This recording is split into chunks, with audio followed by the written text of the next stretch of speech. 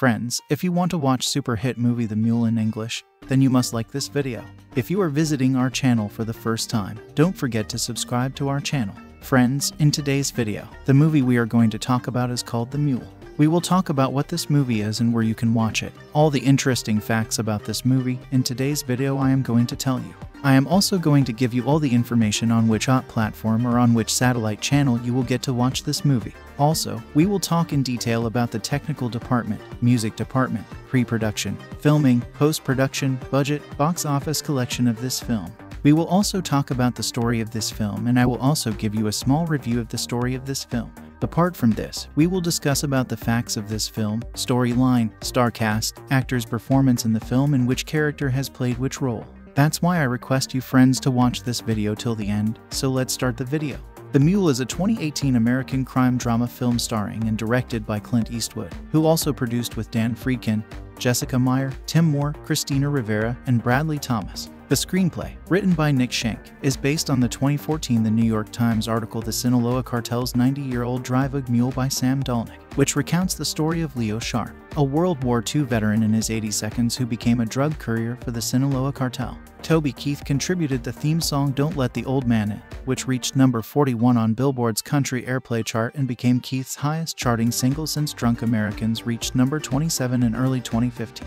The film co stars Bradley Cooper, Laurence Fishburne, Michael Pena, Dianne Wiest, and Andy Garcia. This was Eastwood's first acting project since 2012, and his first starring leading role in a film directed by himself since 2008. Filming began in early June 2018, taking place in Atlanta and Augusta, Georgia, with other film locations in Las Cruces, New Mexico. The Mule was released in the United States on December 14, 2018 by Warner Bros. It has grossed over $174 million. The film received generally positive reviews, with critics calling it poignant and charming and praising Eastwood's performance. Movie plot In 2005, Korean War veteran and famous horticulturalist Earl Stone misses his daughter Iris's wedding so he can receive a lifetime award celebrating his professional accomplishment. Enraged that her father once again chose his career over her, Iris stops speaking to him and his wife Mary files for divorce. Twelve years later, Earl visits his granddaughter Jenny to attend her wedding rehearsal, not telling his family that the only reason he's there is because his flower farming business has gone bankrupt, and his home has just been foreclosed on by the bank. While there, he is spotted by a member of a drug cartel who had been tipped off by one of Earl's former employees as to his financial problems. Earl accepts the gangster's offer and becomes a mule, transporting cocaine through Illinois for the cartel. Facing little suspicion due to his age, ethnicity, spotless criminal history, and strict adherence to driving laws, Earl is soon entrusted with huge amounts of drugs, the delivery of which earns him thousands of dollars. Over time, Earl gets more involved with the cartel and becomes one of their best mules. With the money, he buys a new truck, buys back his home, and even pays for badly needed renovations on behalf of the local VFW post. Earl even pays for Jenny's wedding and tuition so she can attend college. Meanwhile, Special Agent Colin Bates moves to the Chicago D office and is assigned Agent Trevino as his partner. They are tasked with narrowing in on the cartel's deliveries to Chicago. Bates and Trevino find an informant from within the cartel and start looking for their most profitable driver, Tata. The head of the cartel, Latin, is overjoyed with Earl's success and invites him to a party. Earl mistakenly believes that the cartel considers him their friend. Things take a turn for the worse when Latin is assassinated and replaced by another gangster, Gustavo. Gustavo is more bloodthirsty and controlling than Latin and demands Earl be kept under tighter control. In the middle of a $12 million cocaine shipment, Earl winds up in a diner with Bates. Neither man recognizes the other and the elderly Earl gives Bates advice to try and mend fences with his wife and not make the mistakes Earl has made. Earl then leaves to conclude the delivery of the shipment but then gets a call from Jenny, who informs him that Mary is gravely ill. Earl initially tells Jenny there's nothing he can do until she rebukes him for his perceived lack of care. Earl relents and disobeys Gustavo, making peace with Mary and staying with her in her final moments. Mary dies peacefully days later, after attending the funeral and finally reconciling with Iris and the rest of his family. Earl resumes the delivery as both the D and the cartel close in on him. The cartel's enforcers catch him, and upon discovering that he disobeyed them to care for his ex wife, they call Gustavo to request leniency. Gustavo agrees to this demand and allows Earl to continue. Earl proceeds to the drop point, but the D agents finally catch up and arrest him. Bates has a pleasant aside with Earl before sending him away. In court, Earl's lawyer starts to give an impassioned plea. asking for mercy for Earl due to his age and military service. However, a clearly guilt ridden Earl interrupts her to plead guilty to all charges and is promptly sent to federal prison. His family lend him their support and promise to visit him. In prison, he returns to horticulture. Cast Clint Eastwood as Earl Stone, a drug mule. Bradley Cooper as Colin Bates, a D agent. Laurence Fishburne as Warren Lewis, Bates' supervisor. Michael Pena as Trevino, Bates' partner. Dianne Wiest as Mary Stone, Earl's estranged ex wife. Ignacio Serricchio as Julio Gutierrez, Earl's cartel handler. Andy Garcia as Latin, a cartel boss. Taissa Farmiga as Ginny, Earl's granddaughter. Kinsley Isla Dillon as young Ginny. Allison Eastwood as Iris, Earl's estranged daughter. Richard Herd as Tim Kennedy. Lobo Sebastian as Bug, a cartel enforcer. Manny Montana as Axel. Noel G as Bald Rob. Eugene Cordero as Louis Rocha, D informant inside the cartel. Clifton Collins Jr. as Gustavo, who takes over from Latin. Victor Rasuk as Rico, an attendee at Ginny's bridal party who offers Earl his first job. Robert Lasardo as Emilio, Earl's first employer. Daniel Moncada as Eduardo, a high ranking cartel member. Development During 2014, D Special Agent Jeff Moore, who arrested 87 year old Leo Sharp in 2011, was interviewed by the New York Times regarding the investigation of Sharp, the world's oldest and most prolific drug mule. The rights to the subsequent article, The Sinaloa Cartel's 90 year old Drive a Mule by Sam Dolnick, were sold to Imperative Entertainment later that year. Imperative hired Ruben Fleischer to direct and produce the film. In February 2015, Nick Schenk was hired to adapt the article into a film screenplay. In January 2018, it was revealed that the film would be titled The Mule and that Clint Eastwood would direct the film instead, as well as produce and star in it for Warner Bros. Entertainment and Imperative. Producers include Eastwood for Malpaso Productions, along with Tim Moore, Christina Rivera and Jessica Meier, and Dan Friedkin and Bradley Thomas for Imperative Entertainment. Fleischer executive produced. Casting In January 2018, Eastwood was set to play the role of Earl Stone, a Korean War veteran in his 80 seconds, based on World War II veteran Leo Sharp, who worked as a drug courier for a Mexican cartel. In May 2018, Bradley Cooper joined the cast to play D Agent Colin Bates, based on Agent Jeff Moore, who is chasing Stone, and along with Cooper, Lobo Sebastian also joined the film. In June 2018, Dianne Wiest and Michael Pena joined the film's cast to play Earl Stone's ex wife and Bates' fellow D agent, respectively. More cast members were also confirmed, including Laurence Fishburne as a D special agent in charge, Allison Eastwood as Stone's daughter, Taissa Farmiga as Stone's granddaughter, and Ignacio Serricchio as Stone's cartel handler. That same month, Lauren Dean joined the cast of the film. In July 2018, Victor Rasuk was cast, and Manny Montana was also confirmed. Filming, principal photography on the film began on June 4, 2018, in Atlanta, Canton, Rome, and Augusta, Georgia. It was also shot in Las Cruces, New Mexico. Release The film was released on December 14, 2018, in the United States and released on January 25, 2019, in the United Kingdom. It premiered on December 10, 2018, in Westwood, California. Home Media. The Mule was released on digital HD on March 19, 2019 and on 4 Kelvin UHD Blu-ray, Blu-ray and DVD on April 2, 2019. It is also available for online streaming video and digital downloading through Apple's iTunes Store and Vudu. Box office. The Mule grossed $103.8 million in the United States and Canada and $69.8 million in other territories, for a total worldwide gross of $173.6 million, against a production budget of $50 million. In the United States and Canada, The Mule was released alongside Spider Man into the Spider Verse and Mortal Engine and was projected to gross $1,518 million from 2,588 theaters in its opening weekend. It made $5.9 million on its first day and $17.5 million over the weekend, finishing second at the box office and marking the third best opening of Eastwood's acting career. After Gran Torino and Space Cowboys, it made $9.5 million in its second weekend, finishing fifth, and then $4.9 million on Christmas Day.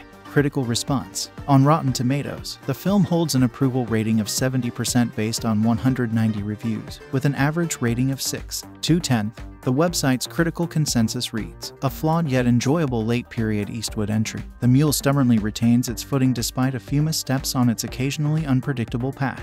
On Metacritic, the film has a weighted average score of 58 out of 100 based on 37 critics, indicating mixed or average reviews. Audiences polled by CinemaScore gave the film an average grade of on and a plus to F scale, while those at PostTrak gave it 4 out of 5 stars. Peter Debruge of Variety wrote, It's a great true story, colorfully told by Sam Dolnick in the New York Times. David Ehrlich of IndieWire gave the film a B+, and called it Eastwood's best in over 25 years, writing, This soulful and deeply satisfying film, a fitting swan song, if ever there was one, makes a compelling argument that change is always possible, and that the path we're on is never as narrow as the highway makes it look. In 2019, The Mule was included in Richard Brody's list of the 27 best films of the decade.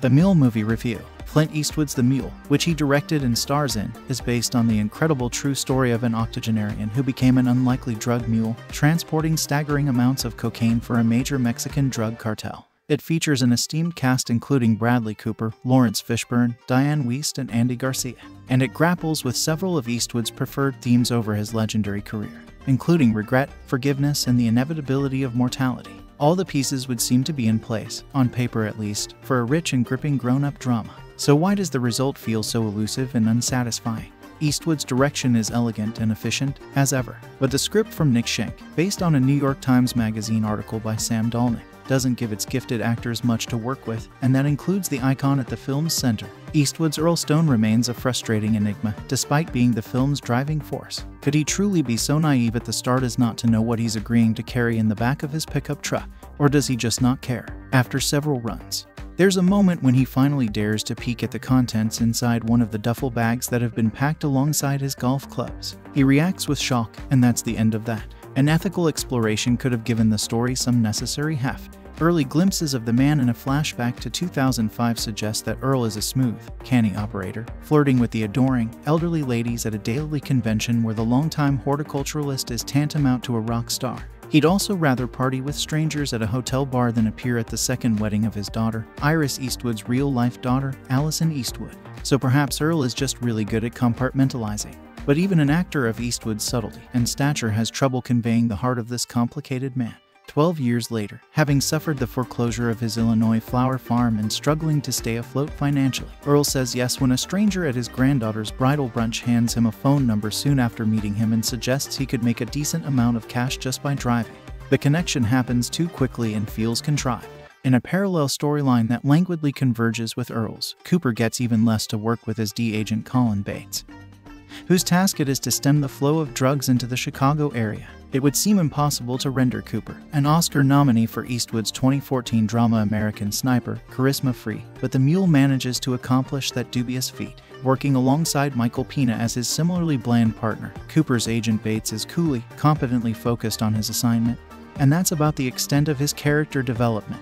The actual back and forths between El Paso, Texas, and the generic Midwestern motel where Earl delivers the goods offer some aesthetic pleasures. A stretch through White Sands National Monument is especially striking. Yves Belanger, a frequent Jean Marc Vallée collaborator, is the cinematographer, and each trip steadily builds on the tension of the last as the cargo, stakes, and danger increase. But the journeys also reveal Earl's propensity for doing things his own way. Whether it's stopping to eat pulled pork barbecue sandwiches for lunch with his uptight handlers in tow or staying overnight at a cheap motel and enjoying the company of a couple of ladies for hire. He's a narcissist until nearly the very end having estranged himself from his family for decades in favor of working and playing hard on the road.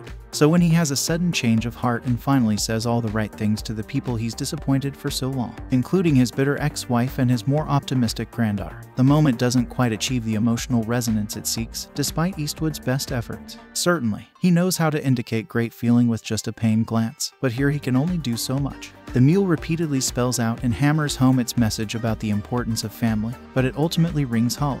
The musical choices are also painfully on the nose, ranging from On the Road Again to I've Been Everywhere. There's also an icky, creeping sensation of xenophobia that permeates the film. One could imagine the mule being used as an argument in favor of President Trump's proposed border wall, given its tone deaf and one dimensional depiction of the minorities Earl encounters. Casually racist, he refers to blacks and Hispanics in good naturedly antiquated terms. But then all the Mexicans he works for are scary, gun toting criminals who want to bring drugs into our country and many of them are depicted in stereotypical fashion with shaved heads and neck tats. They're taking advantage of Earl, a hardworking Korean War veteran who's seen the American dream collapse beneath him. Earl is Trump's proverbial forgotten man. Elderly, white, and living in the heartland, he listens to country music and longs for a simpler time before the internet complicated everything. He's in your movie theater today, but you could easily imagine him on Fox News tomorrow. Other information about this movie. Oh, the best of my knowledge, Clint Eastwood has never taken part in a drug deal or ever committed any offense at all, besides talking to the empty chair and praising Donald Trump. Nonetheless, his new film, The Mule, in which he stars as a 90 ish courier of illegal drugs who tries to stay a step ahead of the law, plays less like the clever action film it is than like a personal work, a movie of self retrospection with a resonant, romantic air of regret. Even if Eastwood, who is 88, goes on to make many more films. This one feels like the closing of a very long and complex chapter in his cinematic life, and perhaps the opening of a new one.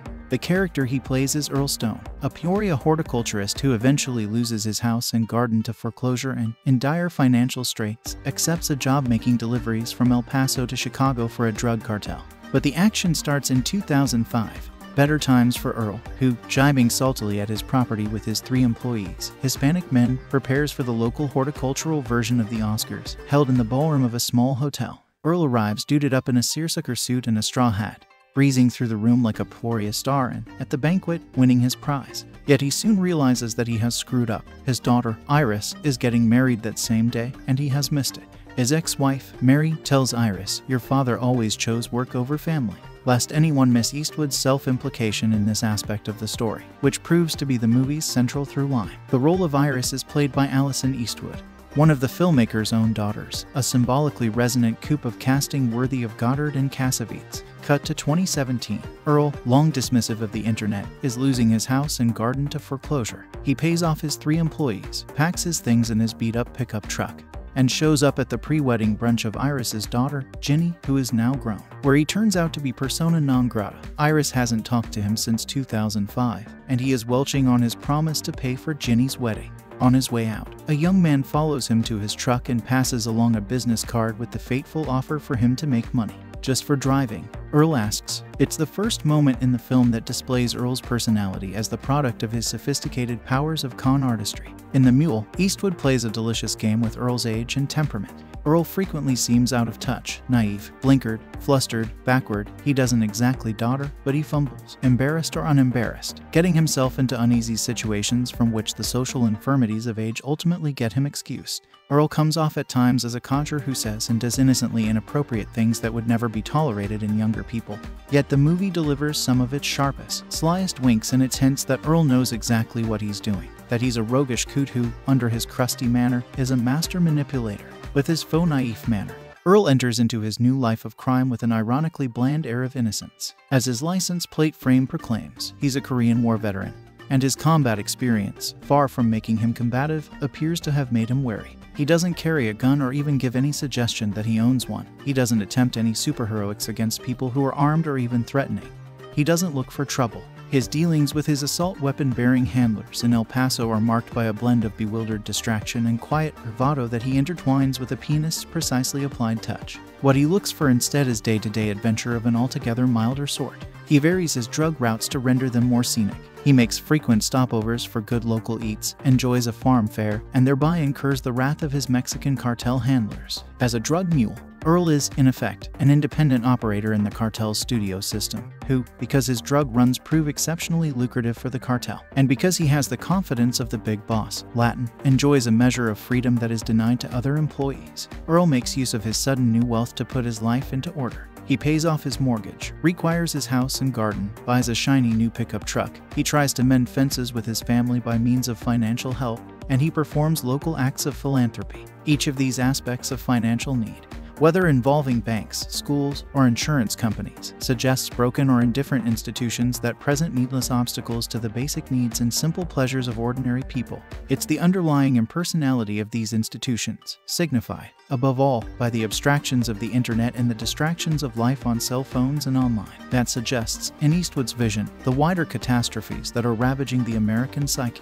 They're marked, in the film, by an alienation from physical labor, whether in the conversion of a tire shop to a cartel headquarters or in people's increasing inability to change their own flat tires. As a struggling independent drug mule, Earl faces the soul killing, and perhaps even body killing, demands of a new cartel regime. Yet, along with those threats, Earl faces an entirely different realm of threats from law enforcement, both those officers whom he happens to encounter in the course of his travels and those working from the top down at the D, and whose efforts to take down the cartel threaten Earl's new livelihood.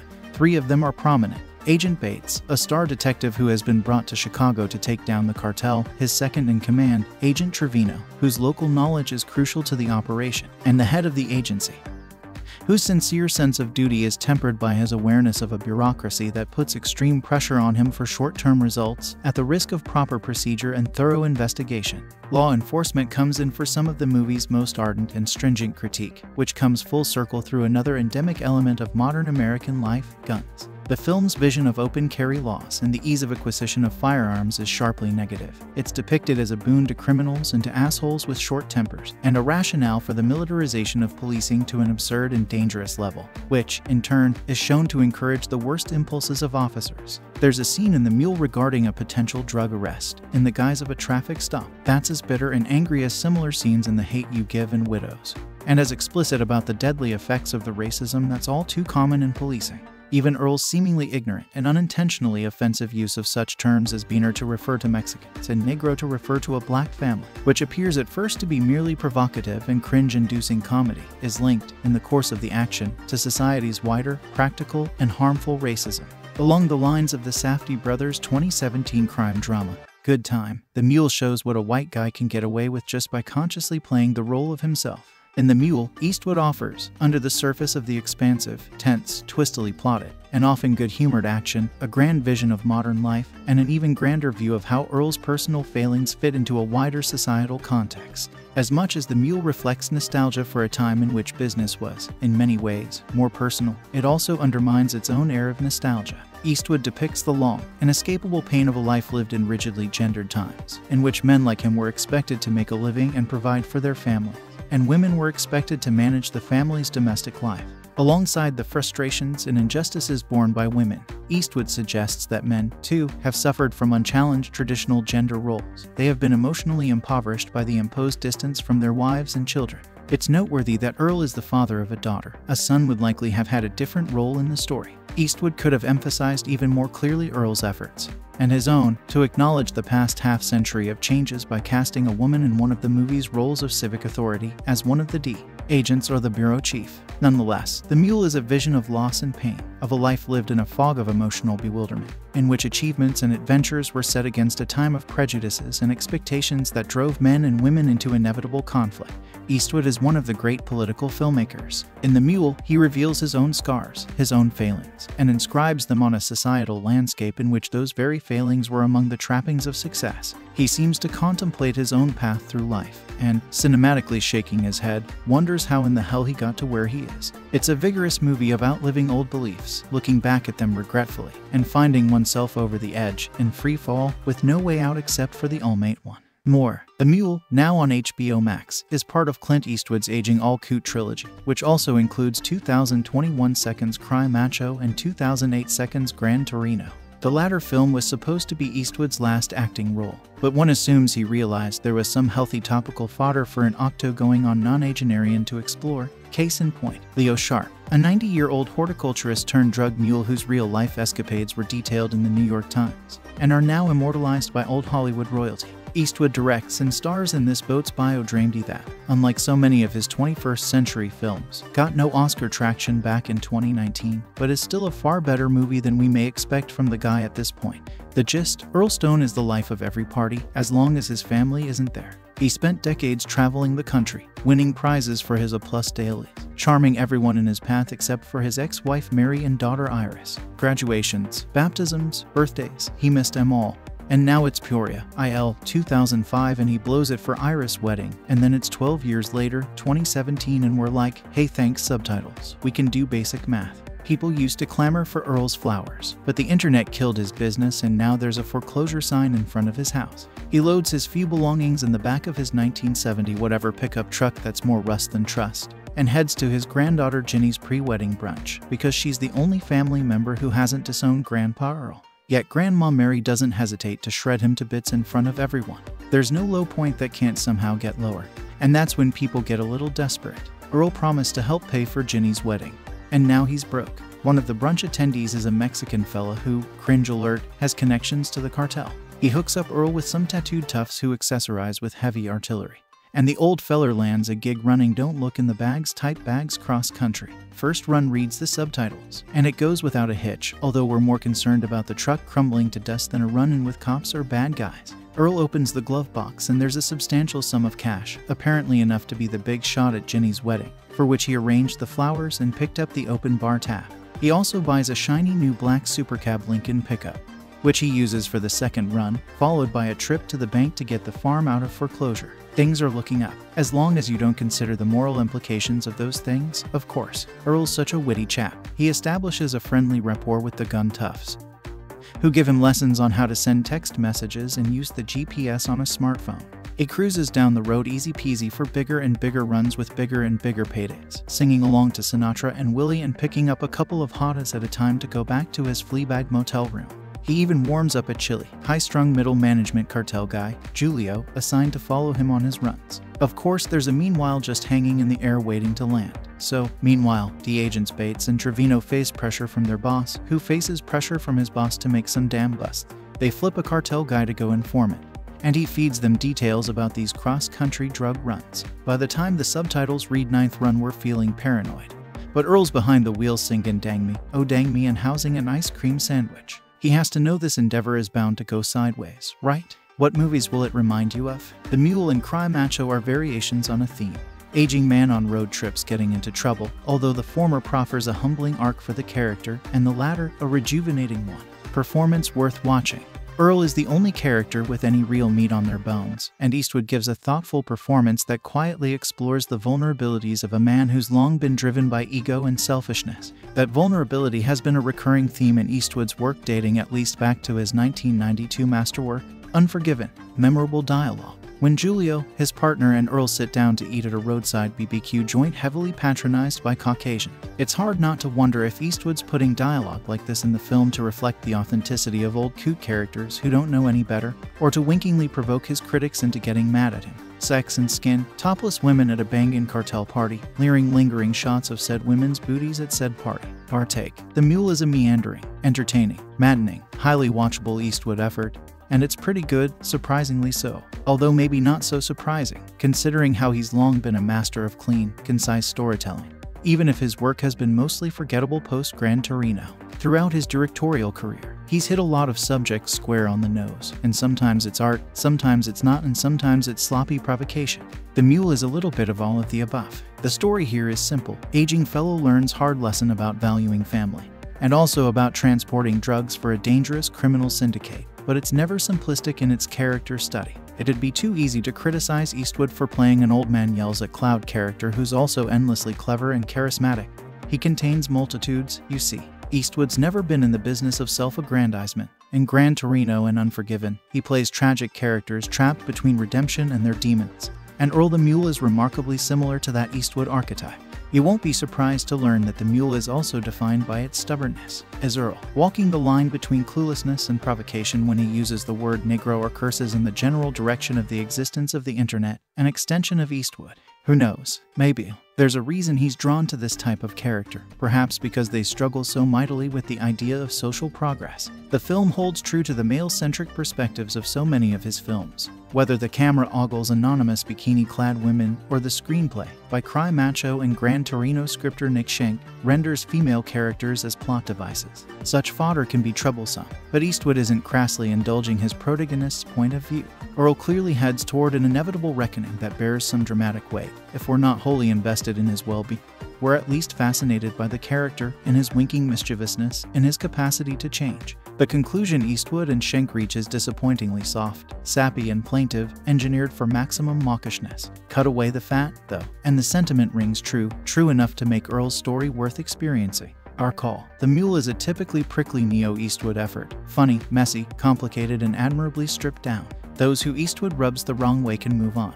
Otherwise, stream it for one of his better movies in recent years. This movie directed by Clint Eastwood, screenplay by Nick Schenk, based on the Sinaloa Cartel's 90-year-old Drive a Mule by Sam Dolnick, produced by Clint Eastwood, Dan Friedkin, Jessica Meier, Tim Moore, Christina Rivera, Bradley Thomas, starring Clint Eastwood, Bradley Cooper, Laurence Fishburne, Michael Pena, Dianne Wiest, Andy Garcia. Cinematography, Yves Belanger. Edited by Joel Cox. Music by Arturo Sandoval. Production companies, Imperative Entertainment, Bron Creative, Malpaso Productions. Distributed by Warner Bros. Pictures. Release dates December 10, 2018, Regency Village Theater. December 14, 2018, United States. Running time 116 minutes. Country, United States. Language, English. Budget, $50 million. Box office, $174.8 million. The Mule is a 2018 American crime drama film starring and directed by Clint Eastwood, who also produced with Dan Friedkin,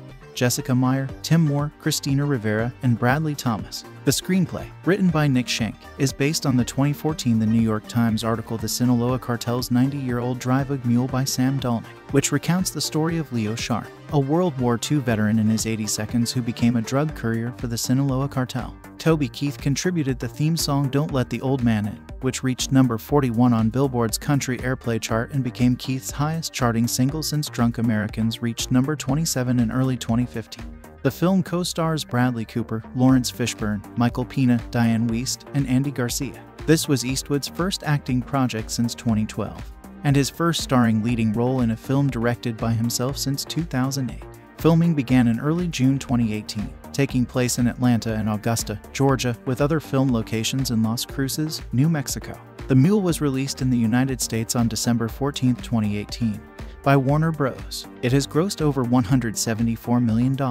The film received generally positive reviews, with critics calling it poignant and charming and praising Eastwood's performance. Movie plot in 2005, Korean War veteran and famous horticulturalist Earl Stone misses his daughter Iris's wedding so he can receive a lifetime award celebrating his professional accomplishment.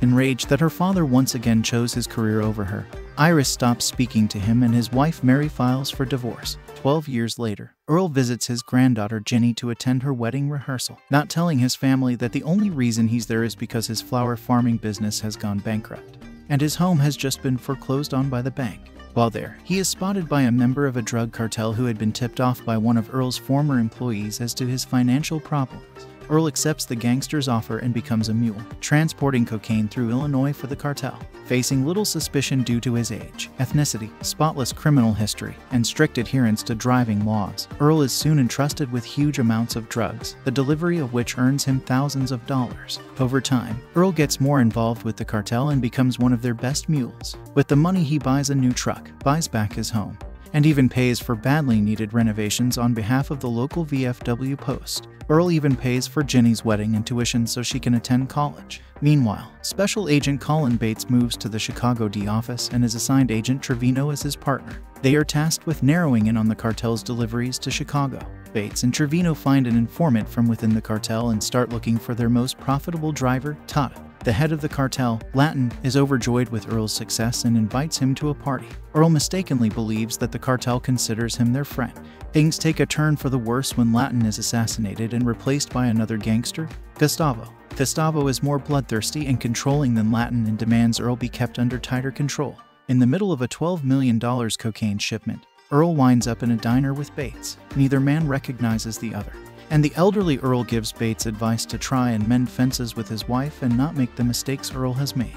Earl then leaves to conclude the delivery of the shipment but then gets a call from Ginny, who informs him that Mary is gravely ill. Earl initially tells Ginny there's nothing he can do until she rebukes him for his perceived lack of care. Earl relents and disobeys Gustavo, making peace with Mary and staying with her in her final moments. Mary dies peacefully days later, after attending the funeral and finally reconciling with Iris and the rest of his family. Earl resumes the delivery as both the deep and the cartel close in on him. The cartel's enforcers catch him, and upon discovering that he disobeyed them to care for his ex wife, they call Gustavo to request leniency. Gustavo agrees to this demand and allows Earl to continue. Earl proceeds to the drop point, but the D agents finally catch up and arrest him. Bates has a pleasant aside with Earl before sending him away. In court, Earl's lawyer starts to give an impassioned plea, asking for mercy for Earl due to his age and military service. However, a clearly guilt ridden Earl interrupts her to plead guilty to all charges and is promptly sent to federal prison. His family lend him their support and promise to visit him. In prison, he returns to horticulture. Cast Clint Eastwood as Earl Stone, a drug mule. Bradley Cooper as Colin Bates, a D agent, Laurence Fishburne as Warren Lewis, Bates' supervisor, Michael Pena as Trevino, Bates' partner, Dianne Wiest as Mary Stone, Earl's estranged ex-wife, Ignacio Serricchio as Julio Gutierrez, Earl's cartel handler, Andy Garcia as Latin, a cartel boss, Taissa Farmiga as Ginny, Earl's granddaughter, Kinsley Isla Dillon as young Ginny, Allison Eastwood as Iris, Earl's estranged daughter, Richard Herd as Tim Kennedy, Lobo Sebastian as Bug, a cartel enforcer, Manny Montana as Axel, Noel G as Bald Rob, Eugene Cordero as Louis Rocha, D informant inside the cartel, Clifton Collins Jr. as Gustavo, who takes over from Latin, Victor Rasuk as Rico, an attendee at Ginny's bridal party who offers Earl his first job, Robert Lasardo as Emilio, Earl's first employer, Daniel Moncada as Eduardo, a high ranking cartel member. Development During 2014, D Special Agent Jeff Moore, who arrested 87 year old Leo Sharp in 2011, was interviewed by the New York Times regarding the investigation of Sharp, the world's oldest and most prolific drug mule. The rights to the subsequent article, The Sinaloa Cartel's 90 year old Drive a Mule by Sam Dolnick, were sold to Imperative Entertainment later that year. Imperative hired Ruben Fleischer to direct and produce the film. In February 2015, Nick Schenk was hired to adapt the article into a film screenplay. In January 2018, it was revealed that the film would be titled The Mule and that Clint Eastwood would direct the film instead, as well as produce and star in it for Warner Bros. Entertainment and Imperative. Producers include Eastwood from Malpaso Productions, along with Tim Moore, Christina Rivera and Jessica Meier, and Dan Friedkin and Bradley Thomas for Imperative Entertainment. Fleischer executive produced. Casting In January 2018, Eastwood was set to play the role of Earl Stone, a Korean War veteran in his 80 seconds, based on World War II veteran Leo Sharp, who worked as a drug courier for a Mexican cartel. In May 2018, Bradley Cooper joined the cast to play the agent Colin Bates, based on agent Jeff Moore, who is chasing Stone, and along with Cooper, Lobo Sebastian also joined the film. In June 2018, Dianne Wiest and Michael Pena joined the film's cast to play Earl Stone's ex-wife and Bates' fellow D agent, respectively. More cast members were also confirmed, including Laurence Fishburne as a D special agent in charge, Allison Eastwood as Stone's daughter, Taissa Farmiga as Stone's granddaughter, and Ignacio Serricchio as Stone's cartel handler. That same month, Lauren Dean joined the cast of the film. In July 2018, Victor Rasuk was cast, and Manny Montana was also confirmed. Filming, principal photography on the film began on June 4, 2018, in Atlanta, Canton, Rome, and Augusta, Georgia. It was also shot in Las Cruces, New Mexico. Release The film was released on December 14, 2018, in the United States and released on January 25, 2019, in the United Kingdom.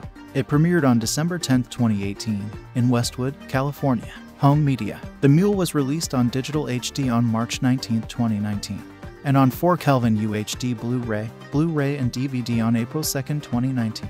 It is also available for online streaming video and digital downloading through Apple's iTunes Store and Vudu.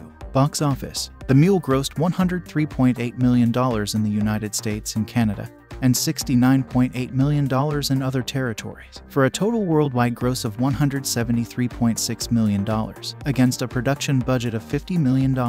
In the United States and Canada, The Mule was released alongside Spider Man Into the Spider Verse and Mortal Engines, and was projected to gross $1,518 million from 2,588 theaters in its opening weekend.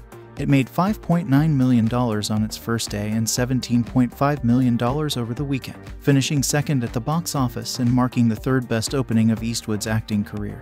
After Gran Torino and Space Cowboys, it made $9.5 million in its second weekend, finishing fifth, and then $4.9 million on Christmas Day. Critical response On Rotten Tomatoes, the film holds an approval rating of 70% based on 190 reviews, with an average rating of 6 to 10.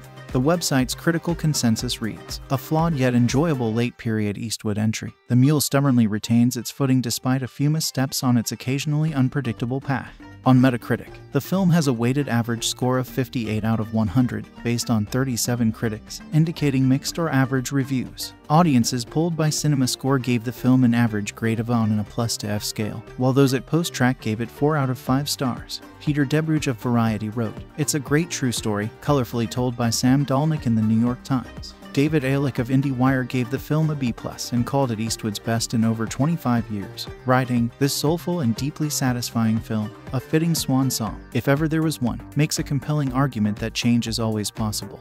and that the path we're on is never as narrow as the highway makes it look. In 2019, The Mule was included in Richard Brody's list of the 27 best films of the decade. The Mule Movie Review Clint Eastwood's The Mule, which he directed and stars in, is based on the incredible true story of an octogenarian who became an unlikely drug mule, transporting staggering amounts of cocaine for a major Mexican drug cartel. It features an esteemed cast including Bradley Cooper, Laurence Fishburne, Dianne Wiest, and Andy Garcia, and it grapples with several of Eastwood's preferred themes over his legendary career, including regret, forgiveness, and the inevitability of mortality.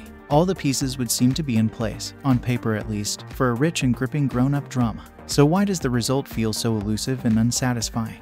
Eastwood's direction is elegant and efficient, as ever. But the script from Nick Schenk, based on a New York Times Magazine article by Sam Dolnick, doesn't give its gifted actors much to work with, and that includes the icon at the film's center. Eastwood's Earl Stone remains a frustrating enigma, despite being the film's driving force. Could he truly be so naive at the start as not to know what he's agreeing to carry in the back of his pickup truck? Or does he just not care? After several runs, there's a moment when he finally dares to peek at the contents inside one of the duffel bags that have been packed alongside his golf clubs. He reacts with shock, and that's the end of that. An ethical exploration could have given the story some necessary heft. Early glimpses of the man in a flashback to 2005 suggest that Earl is a smooth, canny operator, flirting with the adoring, elderly ladies at a daylily convention where the longtime horticulturalist is tantamount to a rock star. He'd also rather party with strangers at a hotel bar than appear at the second wedding of his daughter, Iris Eastwood's real life daughter, Allison Eastwood. So perhaps Earl is just really good at compartmentalizing. But even an actor of Eastwood's subtlety and stature has trouble conveying the heart of this complicated man. 12 years later, having suffered the foreclosure of his Illinois flower farm and struggling to stay afloat financially, Earl says yes when a stranger at his granddaughter's bridal brunch hands him a phone number soon after meeting him and suggests he could make a decent amount of cash just by driving. The connection happens too quickly and feels contrived. In a parallel storyline that languidly converges with Earl's, Cooper gets even less to work with as D agent Colin Bates whose task it is to stem the flow of drugs into the Chicago area. It would seem impossible to render Cooper, an Oscar nominee for Eastwood's 2014 drama American Sniper, charisma free, but the mule manages to accomplish that dubious feat. Working alongside Michael Pena as his similarly bland partner, Cooper's agent Bates is coolly, competently focused on his assignment, and that's about the extent of his character development. The actual back and forths between El Paso, Texas, and the generic Midwestern motel where Earl delivers the goods offer some aesthetic pleasures. A stretch through White Sands National Monument is especially striking. Yves Belanger, a frequent Jean Marc Vallée collaborator, is the cinematographer, and each trip steadily builds on the tension of the last as the cargo, stakes, and danger increase. But the journeys also reveal Earl's propensity for doing things his own way. Whether it's stopping to eat pulled pork barbecue sandwiches for lunch with his uptight handlers in tow or staying overnight at a cheap motel and enjoying the company of a couple of ladies for hire. He's a narcissist until nearly the very end having estranged himself from his family for decades in favor of working and playing hard on the road. So when he has a sudden change of heart and finally says all the right things to the people he's disappointed for so long, including his bitter ex-wife and his more optimistic granddaughter, the moment doesn't quite achieve the emotional resonance it seeks, despite Eastwood's best efforts. Certainly, he knows how to indicate great feeling with just a pained glance, but here he can only do so much. The mule repeatedly spells out and hammers home its message about the importance of family, but it ultimately rings hollow. The musical choices are also painfully on the nose, ranging from On the Road Again to I've Been Everywhere. There's also an icky, creeping sensation of xenophobia that permeates the film. One could imagine the mule being used as an argument in favor of President Trump's proposed border wall, given its tone deaf and one dimensional depiction of the minorities Earl encounters. Casually racist, he refers to blacks and Hispanics in good naturedly antiquated terms. But then all the Mexicans he works for are scary, gun toting criminals who want to bring drugs into our country, and many of them are depicted in stereotypical fashion with shaved heads and neck tats. They're taking advantage of Earl, a hardworking Korean War veteran who's seen the American dream collapse beneath him. Earl is Trump's proverbial forgotten man. Elderly, white, and living in the heartland, he listens to country music and longs for a simpler time before the internet complicated everything. He's in your movie theater today, but you could easily imagine him on Fox News tomorrow. Other information about this movie. Oh, the best of my knowledge, Clint Eastwood has never taken part in a drug deal, or ever committed any offense at all, besides talking to the empty chair and praising Donald Trump. Nonetheless, his new film, The Mule, in which he stars as a 90 ish courier of illegal drugs who tries to stay a step ahead of the law, plays less like the clever action film it is than like a personal work, a movie of self retrospection with a resonant, romantic air of regret.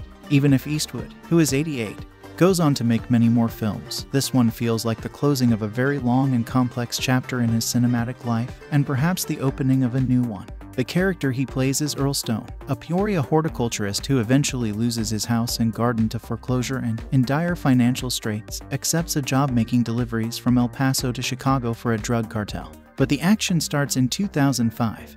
Better times for Earl, who, jibing saltily at his property with his three employees, Hispanic men, prepares for the local horticultural version of the Oscars, held in the ballroom of a small hotel. Earl arrives duded up in a seersucker suit and a straw hat, breezing through the room like a Peoria star and, at the banquet, winning his prize. Yet he soon realizes that he has screwed up. His daughter, Iris, is getting married that same day, and he has missed it. His ex wife, Mary, tells Iris, Your father always chose work over family lest anyone miss Eastwood's self implication in this aspect of the story, which proves to be the movie's central through line. The role of Iris is played by Allison Eastwood, one of the filmmaker's own daughters, a symbolically resonant coup of casting worthy of Godard and Cassavetes. Cut to 2017. Earl, long dismissive of the internet, is losing his house and garden to foreclosure. He pays off his three employees, packs his things in his beat up pickup truck, and shows up at the pre wedding brunch of Iris's daughter, Ginny, who is now grown, where he turns out to be persona non grata. Iris hasn't talked to him since 2005, and he is welching on his promise to pay for Ginny's wedding. On his way out, a young man follows him to his truck and passes along a business card with the fateful offer for him to make money just for driving? Earl asks. It's the first moment in the film that displays Earl's personality as the product of his sophisticated powers of con artistry. In The Mule, Eastwood plays a delicious game with Earl's age and temperament. Earl frequently seems out of touch, naive, blinkered, flustered, backward. He doesn't exactly dodder, but he fumbles, embarrassed or unembarrassed, getting himself into uneasy situations from which the social infirmities of age ultimately get him excused. Earl comes off at times as a codger who says and does innocently inappropriate things that would never be tolerated in younger people. Yet the movie delivers some of its sharpest, slyest winks in its hints that Earl knows exactly what he's doing, that he's a roguish coot who, under his crusty manner, is a master manipulator with his faux naif manner. Earl enters into his new life of crime with an ironically bland air of innocence. As his license plate frame proclaims, he's a Korean War veteran, and his combat experience, far from making him combative, appears to have made him wary. He doesn't carry a gun or even give any suggestion that he owns one. He doesn't attempt any superheroics against people who are armed or even threatening. He doesn't look for trouble. His dealings with his assault weapon bearing handlers in El Paso are marked by a blend of bewildered distraction and quiet bravado that he intertwines with a pianist's precisely applied touch. What he looks for instead is day to day adventure of an altogether milder sort. He varies his drug routes to render them more scenic. He makes frequent stopovers for good local eats, enjoys a farm fare, and thereby incurs the wrath of his Mexican cartel handlers. As a drug mule, Earl is, in effect, an independent operator in the cartel's studio system, who, because his drug runs prove exceptionally lucrative for the cartel, and because he has the confidence of the big boss, Latin, enjoys a measure of freedom that is denied to other employees. Earl makes use of his sudden new wealth to put his life into order. He pays off his mortgage, requires his house and garden, buys a shiny new pickup truck. He tries to mend fences with his family by means of financial help, and he performs local acts of philanthropy. Each of these aspects of financial need whether involving banks, schools, or insurance companies, suggests broken or indifferent institutions that present needless obstacles to the basic needs and simple pleasures of ordinary people. It's the underlying impersonality of these institutions, signified, above all, by the abstractions of the internet and the distractions of life on cell phones and online, that suggests, in Eastwood's vision, the wider catastrophes that are ravaging the American psyche. They're marked, in the film, by an alienation from physical labor, whether in the conversion of a tire shop to a cartel headquarters or in people's increasing inability to change their own flat tires. As a struggling independent drug mule, Earl faces the soul killing, and perhaps even body killing, demands of a new cartel regime. Yet, along with those threats, Earl faces an entirely different realm of threats from law enforcement, both those officers whom he happens to encounter in the course of his travels and those working from the top down at the D, and whose efforts to take down the cartel threaten Earl's new livelihood.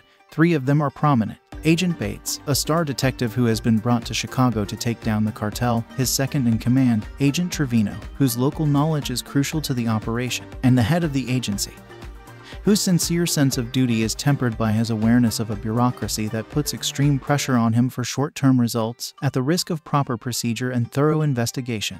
Law enforcement comes in for some of the movie's most ardent and stringent critique, which comes full circle through another endemic element of modern American life guns. The film's vision of open carry laws and the ease of acquisition of firearms is sharply negative. It's depicted as a boon to criminals and to assholes with short tempers, and a rationale for the militarization of policing to an absurd and dangerous level, which, in turn, is shown to encourage the worst impulses of officers. There's a scene in The Mule regarding a potential drug arrest, in the guise of a traffic stop. That's as bitter and angry as similar scenes in The Hate You Give and Widows and as explicit about the deadly effects of the racism that's all too common in policing. Even Earl's seemingly ignorant and unintentionally offensive use of such terms as beaner to refer to Mexicans and negro to refer to a black family, which appears at first to be merely provocative and cringe-inducing comedy, is linked, in the course of the action, to society's wider, practical, and harmful racism. Along the lines of the Safdie brothers' 2017 crime drama, Good Time, The Mule shows what a white guy can get away with just by consciously playing the role of himself. In The Mule, Eastwood offers, under the surface of the expansive, tense, twistily plotted, and often good humored action, a grand vision of modern life, and an even grander view of how Earl's personal failings fit into a wider societal context. As much as The Mule reflects nostalgia for a time in which business was, in many ways, more personal, it also undermines its own air of nostalgia. Eastwood depicts the long, inescapable pain of a life lived in rigidly gendered times, in which men like him were expected to make a living and provide for their families and women were expected to manage the family's domestic life. Alongside the frustrations and injustices borne by women, Eastwood suggests that men, too, have suffered from unchallenged traditional gender roles. They have been emotionally impoverished by the imposed distance from their wives and children. It's noteworthy that Earl is the father of a daughter. A son would likely have had a different role in the story. Eastwood could have emphasized even more clearly Earl's efforts, and his own, to acknowledge the past half century of changes by casting a woman in one of the movie's roles of civic authority as one of the D agents or the bureau chief. Nonetheless, The Mule is a vision of loss and pain, of a life lived in a fog of emotional bewilderment, in which achievements and adventures were set against a time of prejudices and expectations that drove men and women into inevitable conflict. Eastwood is one of the great political filmmakers. In The Mule, he reveals his own scars, his own failings, and inscribes them on a societal landscape in which those very failings were among the trappings of success. He seems to contemplate his own path through life, and, cinematically shaking his head, wonders how in the hell he got to where he is. It's a vigorous movie of outliving old beliefs, looking back at them regretfully, and finding oneself over the edge, in free fall, with no way out except for the all-mate one. More. The Mule, now on HBO Max, is part of Clint Eastwood's aging All Coot trilogy, which also includes 2021 Seconds Cry Macho and 2008 Seconds Gran Torino. The latter film was supposed to be Eastwood's last acting role, but one assumes he realized there was some healthy topical fodder for an octo-going on nonagenarian to explore. Case in point, Leo Sharp, a 90-year-old horticulturist turned drug mule whose real-life escapades were detailed in the New York Times, and are now immortalized by old Hollywood royalty. Eastwood directs and stars in this boat's bio Dreamed that, unlike so many of his 21st century films, got no Oscar traction back in 2019, but is still a far better movie than we may expect from the guy at this point. The gist Earl Stone is the life of every party, as long as his family isn't there. He spent decades traveling the country, winning prizes for his A-plus daylilies, charming everyone in his path except for his ex-wife Mary and daughter Iris. Graduations, baptisms, birthdays, he missed them all, and now it's Peoria, IL 2005, and he blows it for Iris' wedding. And then it's 12 years later, 2017, and we're like, hey, thanks, subtitles. We can do basic math. People used to clamor for Earl's flowers, but the internet killed his business, and now there's a foreclosure sign in front of his house. He loads his few belongings in the back of his 1970 whatever pickup truck that's more rust than trust, and heads to his granddaughter Ginny's pre wedding brunch because she's the only family member who hasn't disowned Grandpa Earl. Yet Grandma Mary doesn't hesitate to shred him to bits in front of everyone. There's no low point that can't somehow get lower. And that's when people get a little desperate. Earl promised to help pay for Ginny's wedding. And now he's broke. One of the brunch attendees is a Mexican fella who, cringe alert, has connections to the cartel. He hooks up Earl with some tattooed toughs who accessorize with heavy artillery. And the old feller lands a gig running Don't Look in the Bags Tight Bags Cross Country. First run reads the subtitles, and it goes without a hitch, although we're more concerned about the truck crumbling to dust than a run in with cops or bad guys. Earl opens the glove box and there's a substantial sum of cash, apparently enough to be the big shot at Ginny's wedding, for which he arranged the flowers and picked up the open bar tab. He also buys a shiny new black supercab Lincoln pickup, which he uses for the second run, followed by a trip to the bank to get the farm out of foreclosure. Things are looking up, as long as you don't consider the moral implications of those things, of course. Earl's such a witty chap. He establishes a friendly rapport with the gun toughs, who give him lessons on how to send text messages and use the GPS on a smartphone. He cruises down the road easy peasy for bigger and bigger runs with bigger and bigger paydays, singing along to Sinatra and Willie and picking up a couple of hottas at a time to go back to his Fleabag motel room. He even warms up a chilly, high strung middle management cartel guy, Julio, assigned to follow him on his runs. Of course, there's a meanwhile just hanging in the air waiting to land. So, meanwhile, the agents Bates and Trevino face pressure from their boss, who faces pressure from his boss to make some damn bust. They flip a cartel guy to go informant, and he feeds them details about these cross country drug runs. By the time the subtitles read Ninth Run, we're feeling paranoid. But Earl's behind the wheel singing Dang Me, Oh Dang Me, and housing an ice cream sandwich. He has to know this endeavor is bound to go sideways, right? What movies will it remind you of? The Mule and Cry Macho are variations on a theme. Aging man on road trips getting into trouble, although the former proffers a humbling arc for the character and the latter a rejuvenating one. Performance worth watching.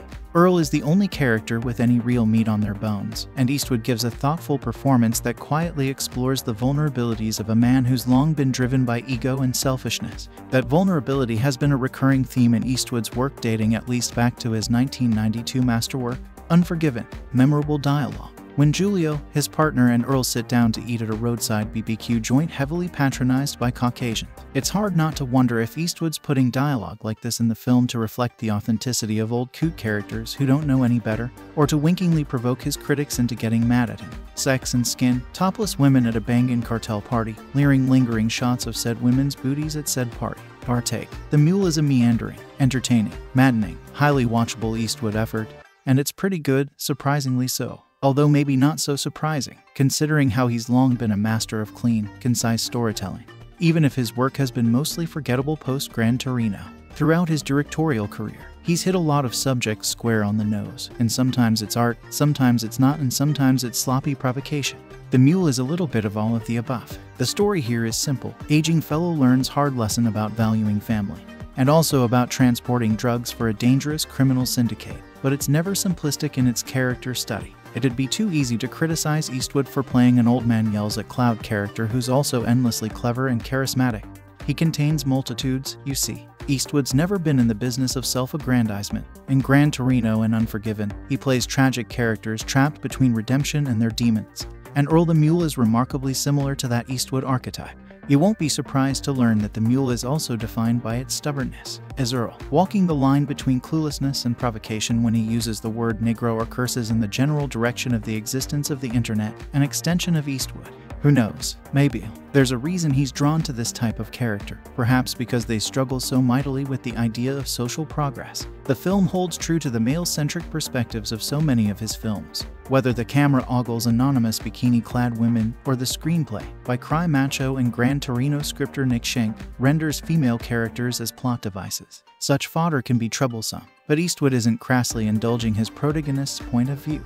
Earl clearly heads toward an inevitable reckoning that bears some dramatic weight. If we're not wholly invested in his well being, we're at least fascinated by the character and his winking mischievousness and his capacity to change. The conclusion Eastwood and Schenk reach is disappointingly soft, sappy, and plaintive, engineered for maximum mawkishness. Cut away the fat, though, and the sentiment rings true, true enough to make Earl's story worth experiencing. Our call. The Mule is a typically prickly Neo Eastwood effort. Funny, messy, complicated, and admirably stripped down. Those who Eastwood rubs the wrong way can move on.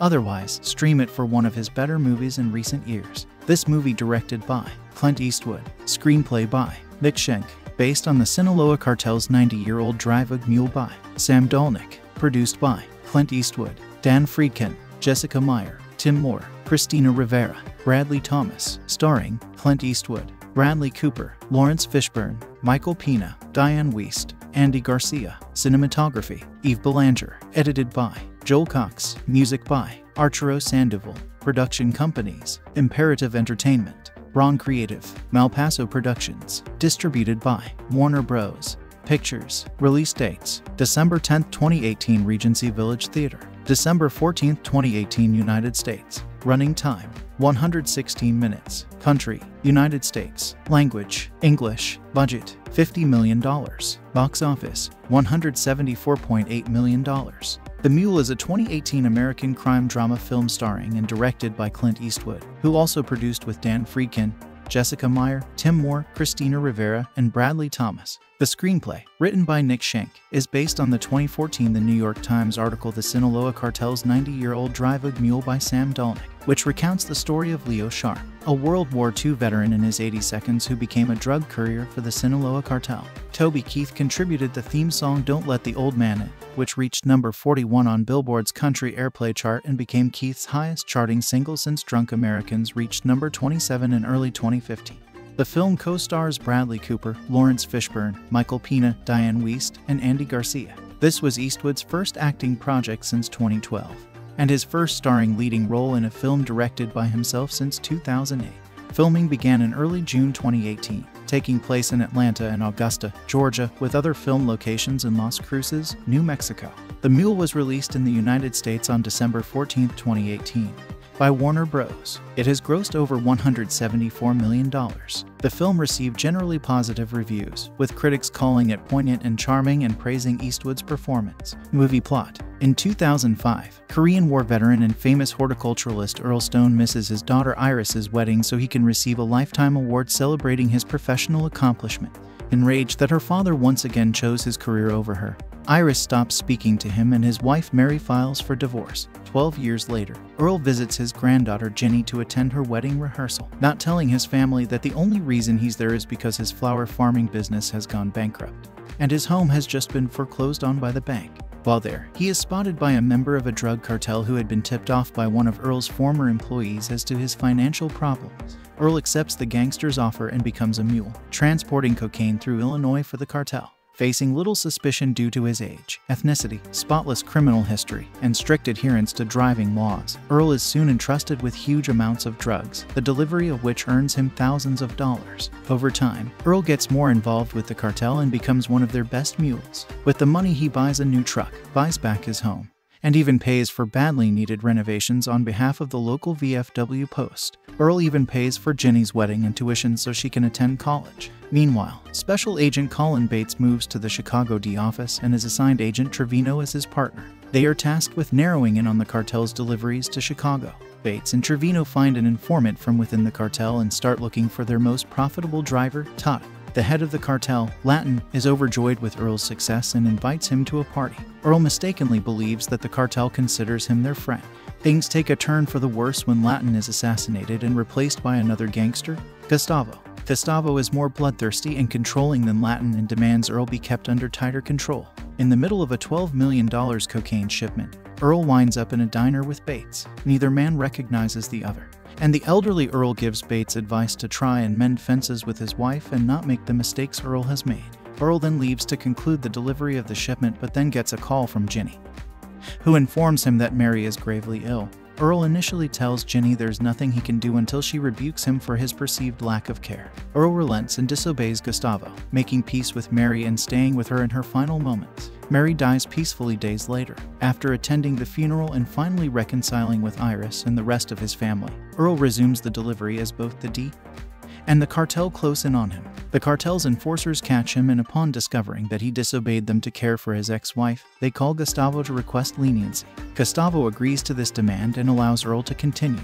Earl proceeds to the drop point, but the D agents finally catch up and arrest him. Bates has a pleasant aside with Earl before sending him away.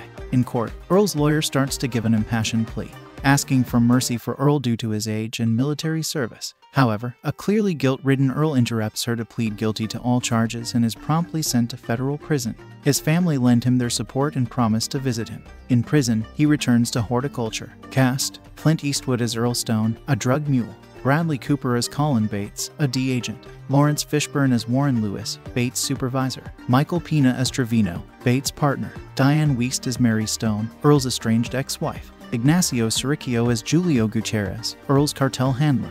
Andy Garcia as Laton, a cartel boss. Taissa Farmiga as Ginny, Earl's granddaughter. Kinsley Isla Dillon as young Ginny. Allison Eastwood as Iris, Earl's estranged daughter. Richard Herd as Tim Kennedy. Lobo Sebastian as Bug, a cartel enforcer. Manny Montana as Axel. Noel G as Bald Rob. Eugene Cordero as Louis Rocha, the informant inside the cartel. Clifton Collins Jr. as Gustavo, who takes over from Laton. Victor Rasuk as Rico, an attendee at Ginny's bridal party who offers Earl his first job. Robert Lasardo as Emilio, Earl's first employer. Daniel Moncada as Eduardo, a high ranking cartel member. Development During 2014, D Special Agent Jeff Moore, who arrested 87 year old Leo Sharp in 2011, was interviewed by the New York Times regarding the investigation of Sharp, the world's oldest and most prolific drug mule. The rights to the subsequent article, The Sinaloa Cartel's 90 year old Drive Mule by Sam Dolnick, were sold to Imperative Entertainment later that year. Imperative hired Ruben Fleischer to direct and produce the film.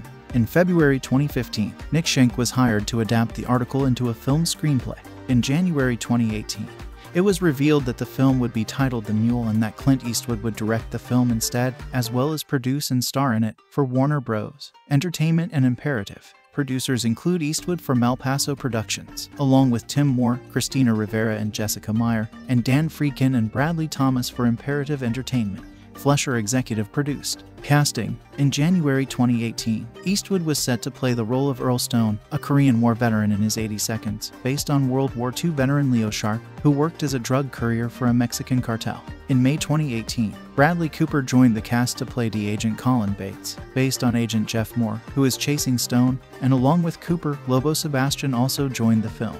In June 2018, Dianne Wiest and Michael Pena joined the film's cast to play Earl Stone's ex-wife and Bates' fellow D agent, respectively. More cast members were also confirmed, including Laurence Fishburne as a D special agent in charge, Allison Eastwood as Stone's daughter, Taissa Farmiga as Stone's granddaughter, and Ignacio Serricchio as Stone's cartel handler. That same month, Lauren Dean joined the cast of the film.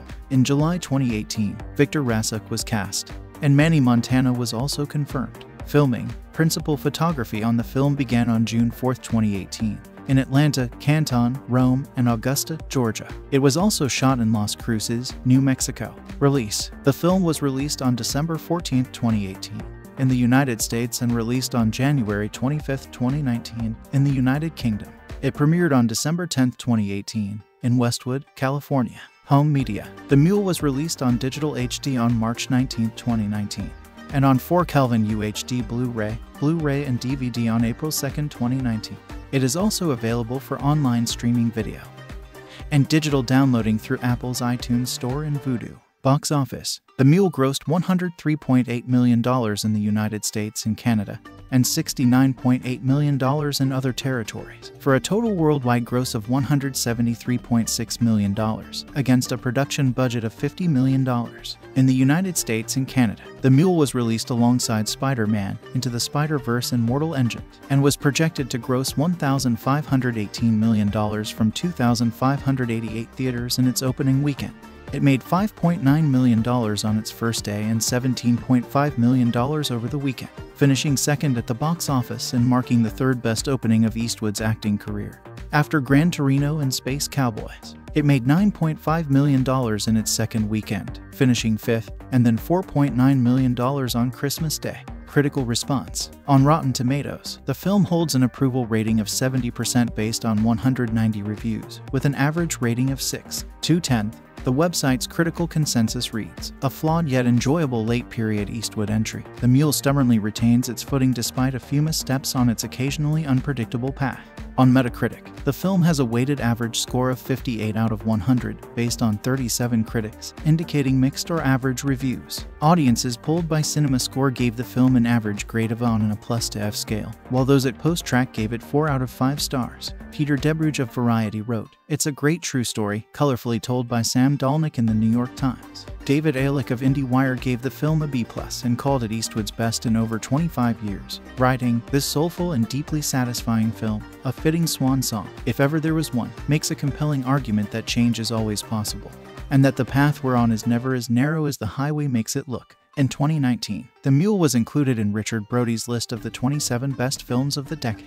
The Mule Movie Review Clint Eastwood's The Mule, which he directed and stars in, is based on the incredible true story of an octogenarian who became an unlikely drug mule, transporting staggering amounts of cocaine for a major Mexican drug cartel. It features an esteemed cast including Bradley Cooper, Laurence Fishburne, Dianne Wiest, and Andy Garcia, and it grapples with several of Eastwood's preferred themes over his legendary career, including regret, forgiveness, and the inevitability of mortality. All the pieces would seem to be in place, on paper at least, for a rich and gripping grown up drama. So, why does the result feel so elusive and unsatisfying? Eastwood's direction is elegant and efficient, as ever, but the script from Nick Schenk, based on a New York Times Magazine article by Sam Dolnick, doesn't give its gifted actors much to work with, and that includes the icon at the film's center. Eastwood's Earl Stone remains a frustrating enigma, despite being the film's driving force. Could he truly be so naive at the start as not to know what he's agreeing to carry in the back of his pickup truck?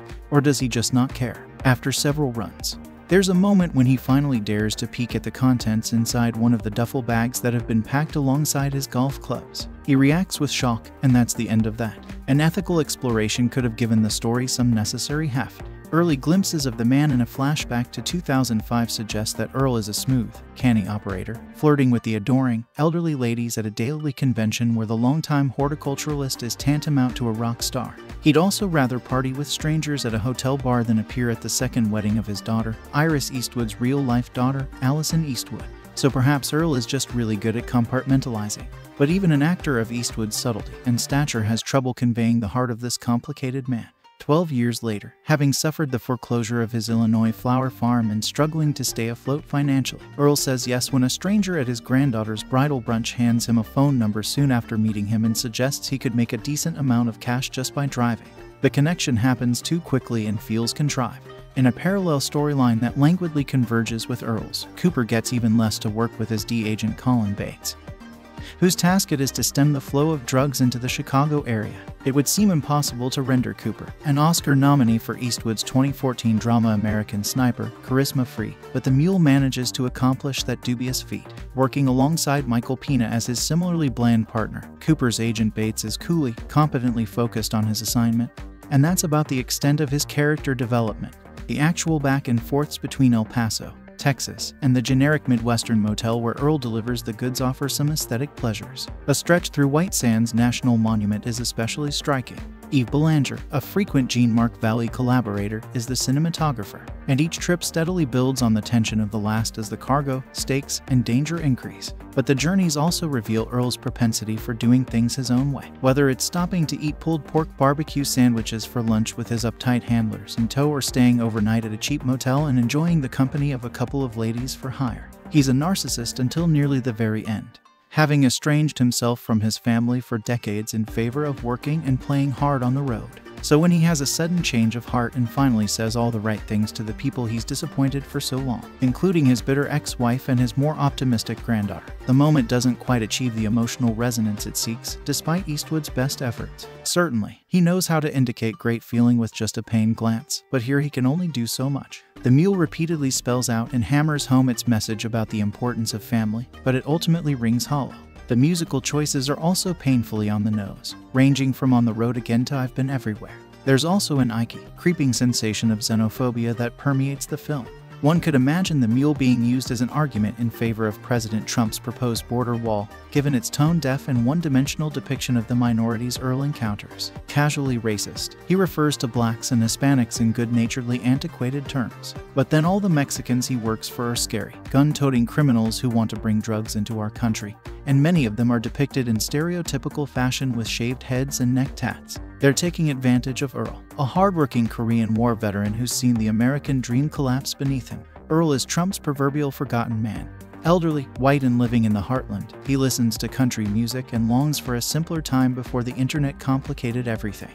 He's in your movie theater today, but you could easily imagine him on Fox News tomorrow. Other information about this movie. Oh, the best of my knowledge, Clint Eastwood has never taken part in a drug deal, or ever committed any offense at all, besides talking to the empty chair and praising Donald Trump.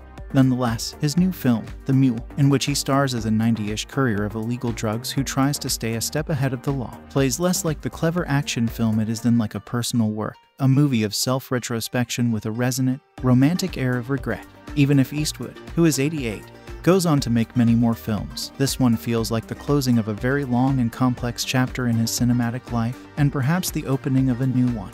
The character he plays is Earl Stone, a Peoria horticulturist who eventually loses his house and garden to foreclosure and, in dire financial straits, accepts a job making deliveries from El Paso to Chicago for a drug cartel. But the action starts in 2005. Better times for Earl, who, jibing saltily at his property with his three employees, Hispanic men, prepares for the local horticultural version of the Oscars, held in the ballroom of a small hotel. Earl arrives duded up in a seersucker suit and a straw hat, breezing through the room like a Peoria star at the banquet, winning his prize. Yet he soon realizes that he has screwed up. His daughter, Iris, is getting married that same day, and he has missed it. His ex wife, Mary, tells Iris, Your father always chose work over family, lest anyone miss Eastwood's self implication in this aspect of the story, which proves to be the movie's central through line. The role of Iris is played by Allison Eastwood, one of the filmmaker's own daughters, a symbolically resonant coup of casting worthy of Godard and Cassavetes. Cut to 2017. Earl, long dismissive of the internet, is losing his house and garden to foreclosure. He pays off his three employees, packs his things in his beat up pickup truck, and shows up at the pre-wedding brunch of Iris's daughter, Ginny, who is now grown, where he turns out to be persona non grata. Iris hasn't talked to him since 2005, and he is welching on his promise to pay for Ginny's wedding. On his way out, a young man follows him to his truck and passes along a business card with the fateful offer for him to make money, just for driving. Earl asks. It's the first moment in the film that displays Earl's personality as the product of his sophisticated powers of con artistry. In The Mule, Eastwood plays a delicious game with Earl's age and temperament. Earl frequently seems out of touch, naive, blinkered, flustered, backward. He doesn't exactly dodder, but he fumbles, embarrassed or unembarrassed, getting himself into uneasy situations from which the social infirmities of age ultimately get him excused. Earl comes off at times as a codger who says and does innocently inappropriate things that would never be tolerated in younger people. Yet the movie delivers some of its sharpest, slyest winks in its hints that Earl knows exactly what he's doing, that he's a roguish coot who, under his crusty manner, is a master manipulator with his faux naif manner. Earl enters into his new life of crime with an ironically bland air of innocence. As his license plate frame proclaims, he's a Korean War veteran, and his combat experience, far from making him combative, appears to have made him wary. He doesn't carry a gun or even give any suggestion that he owns one. He doesn't attempt any superheroics against people who are armed or even threatening. He doesn't look for trouble. His dealings with his assault weapon bearing handlers in El Paso are marked by a blend of bewildered distraction and quiet bravado that he intertwines with a pianist's precisely applied touch. What he looks for instead is day to day adventure of an altogether milder sort. He varies his drug routes to render them more scenic. He makes frequent stopovers for good local eats, enjoys a farm fare, and thereby incurs the wrath of his Mexican cartel handlers. As a drug mule, Earl is, in effect, an independent operator in the cartel's studio system, who, because his drug runs prove exceptionally lucrative for the cartel, and because he has the confidence of the big boss, Laton, enjoys a measure of freedom that is denied to other employees. Earl makes use of his sudden new wealth to put his life into order. He pays off his mortgage, requires his house and garden, buys a shiny new pickup truck. He tries to mend fences with his family by means of financial help, and he performs local acts of philanthropy. Each of these aspects of financial need whether involving banks, schools, or insurance companies, suggests broken or indifferent institutions that present needless obstacles to the basic needs and simple pleasures of ordinary people. It's the underlying impersonality of these institutions, signified, above all, by the abstractions of the internet and the distractions of life on cell phones and online, that suggests, in Eastwood's vision, the wider catastrophes that are ravaging the American psyche. They're marked, in the film, by an alienation from physical labor, whether in the conversion of a tire shop to a cartel headquarters or in people's increasing inability to change their own flat tires. As a struggling independent drug mule, Earl faces the soul killing, and perhaps even body killing, demands of a new cartel regime.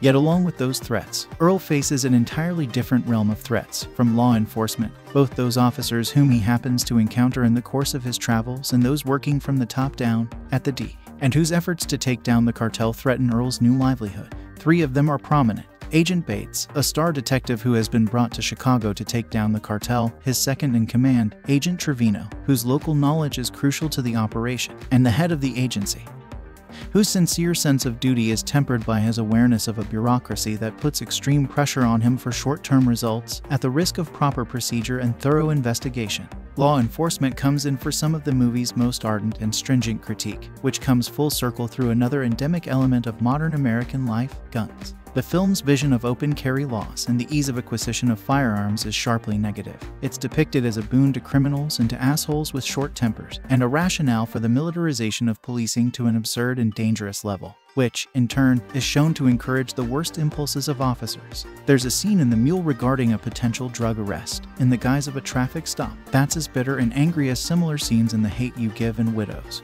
and as explicit about the deadly effects of the racism that's all too common in policing.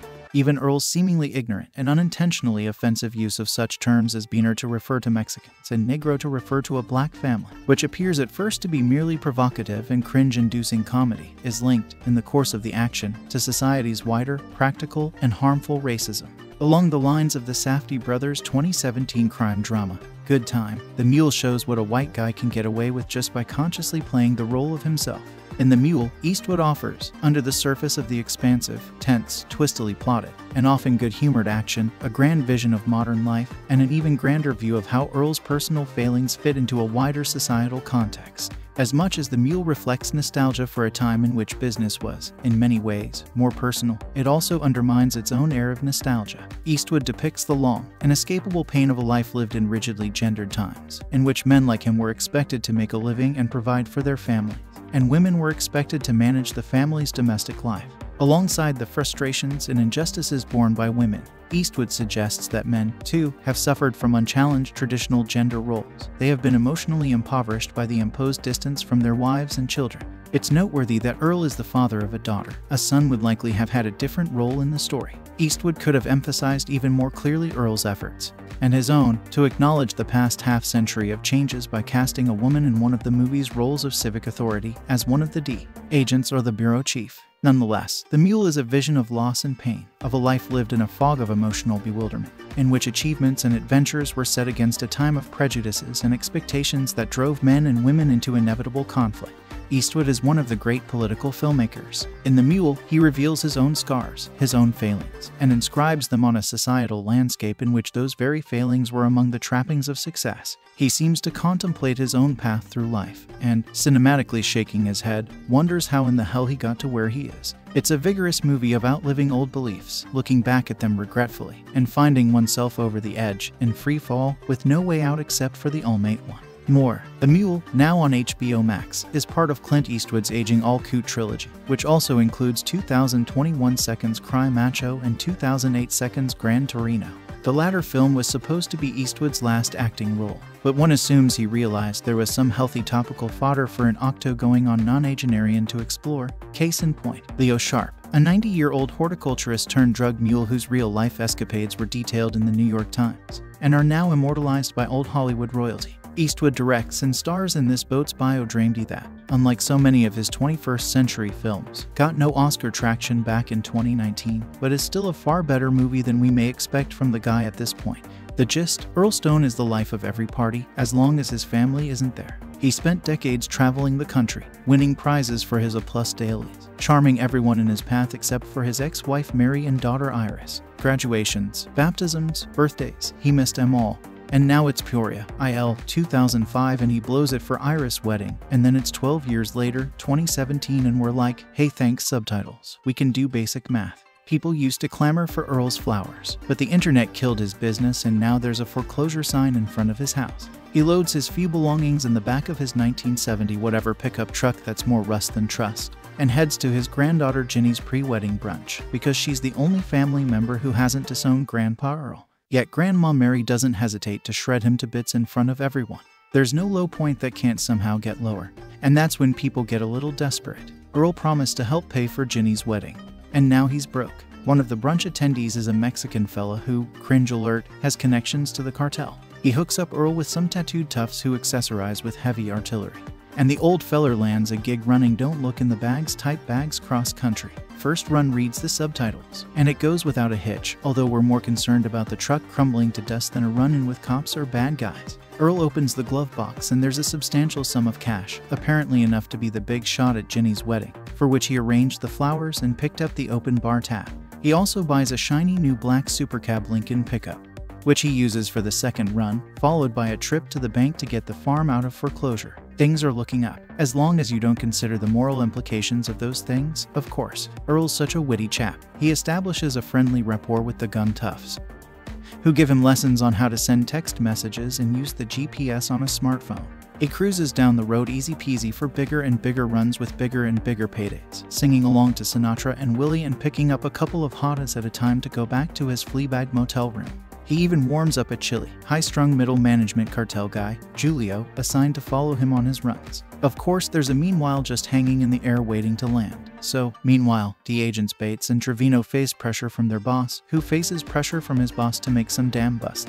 They flip a cartel guy to go informant and he feeds them details about these cross country drug runs. By the time the subtitles read Ninth Run, we're feeling paranoid. But Earl's behind the wheel singing Dang Me, Oh Dang Me, and housing an ice cream sandwich. He has to know this endeavor is bound to go sideways, right? What movies will it remind you of? The Mule and Cry Macho are variations on a theme.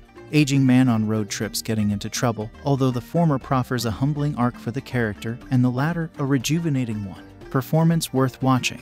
Earl is the only character with any real meat on their bones, and Eastwood gives a thoughtful performance that quietly explores the vulnerabilities of a man who's long been driven by ego and selfishness. That vulnerability has been a recurring theme in Eastwood's work dating at least back to his 1992 masterwork, Unforgiven, memorable dialogue. When Julio, his partner, and Earl sit down to eat at a roadside BBQ joint heavily patronized by Caucasians, it's hard not to wonder if Eastwood's putting dialogue like this in the film to reflect the authenticity of old cute characters who don't know any better, or to winkingly provoke his critics into getting mad at him. Sex and skin, topless women at a bangin' cartel party, leering lingering shots of said women's booties at said party. Partake. The Mule is a meandering, entertaining, maddening, highly watchable Eastwood effort, and it's pretty good, surprisingly so. Although maybe not so surprising, considering how he's long been a master of clean, concise storytelling, even if his work has been mostly forgettable post Gran Torino.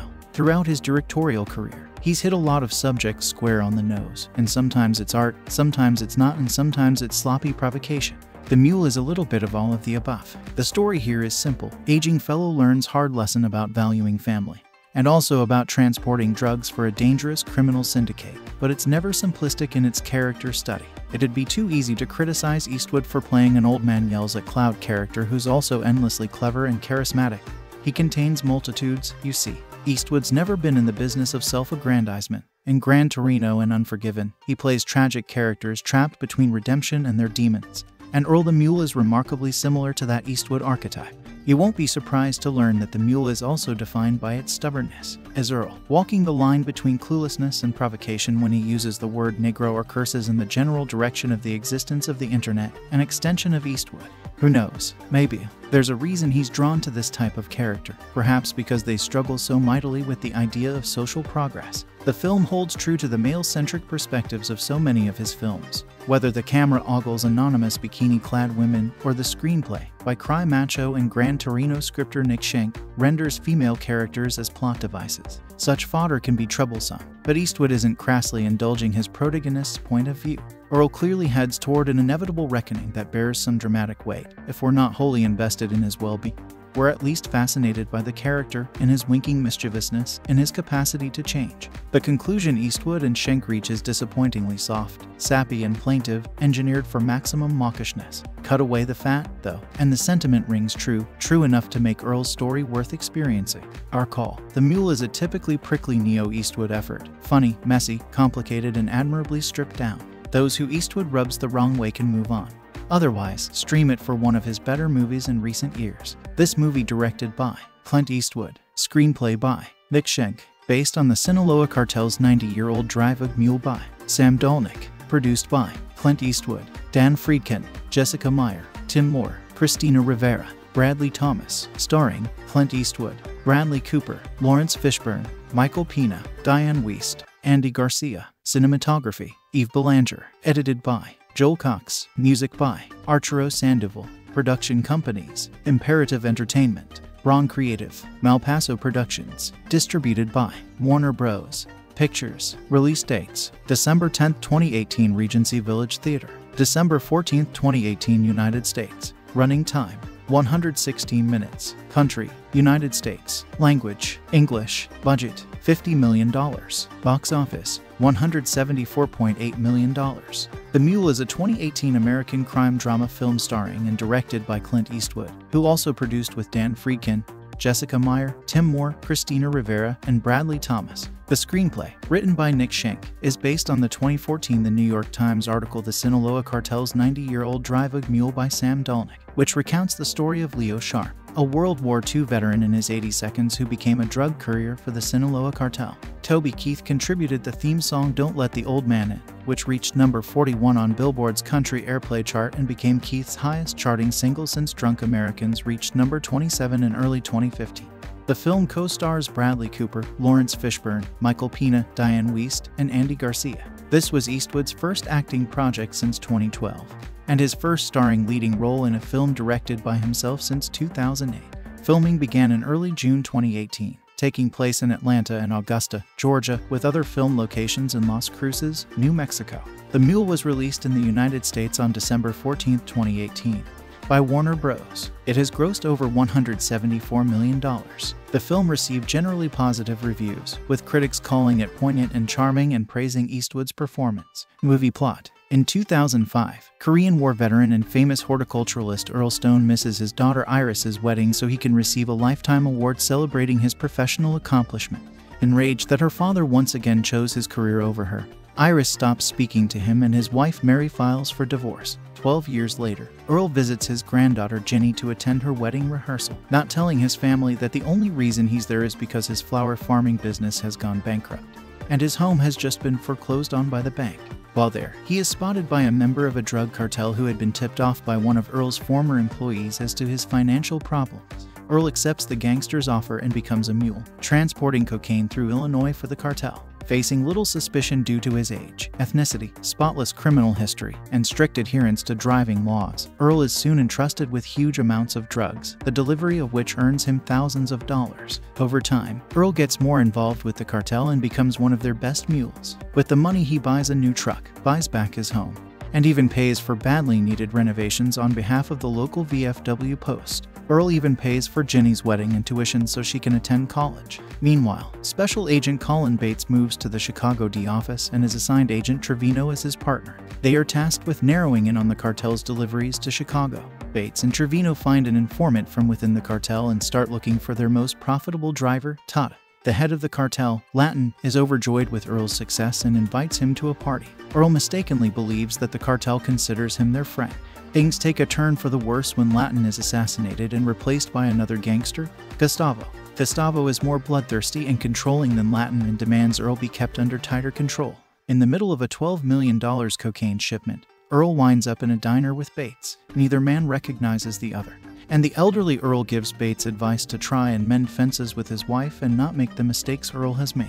Earl then leaves to conclude the delivery of the shipment but then gets a call from Ginny who informs him that Mary is gravely ill. Earl initially tells Ginny there's nothing he can do until she rebukes him for his perceived lack of care. Earl relents and disobeys Gustavo, making peace with Mary and staying with her in her final moments. Mary dies peacefully days later, after attending the funeral and finally reconciling with Iris and the rest of his family. Earl resumes the delivery as both the D and the cartel close in on him. The cartel's enforcers catch him, and upon discovering that he disobeyed them to care for his ex wife, they call Gustavo to request leniency. Gustavo agrees to this demand and allows Earl to continue.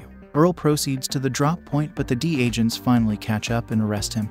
Bates has a pleasant aside with Earl before sending him away. In court, Earl's lawyer starts to give an impassioned plea asking for mercy for Earl due to his age and military service. However, a clearly guilt ridden Earl interrupts her to plead guilty to all charges and is promptly sent to federal prison. His family lend him their support and promise to visit him. In prison, he returns to horticulture. Cast Clint Eastwood as Earl Stone, a drug mule.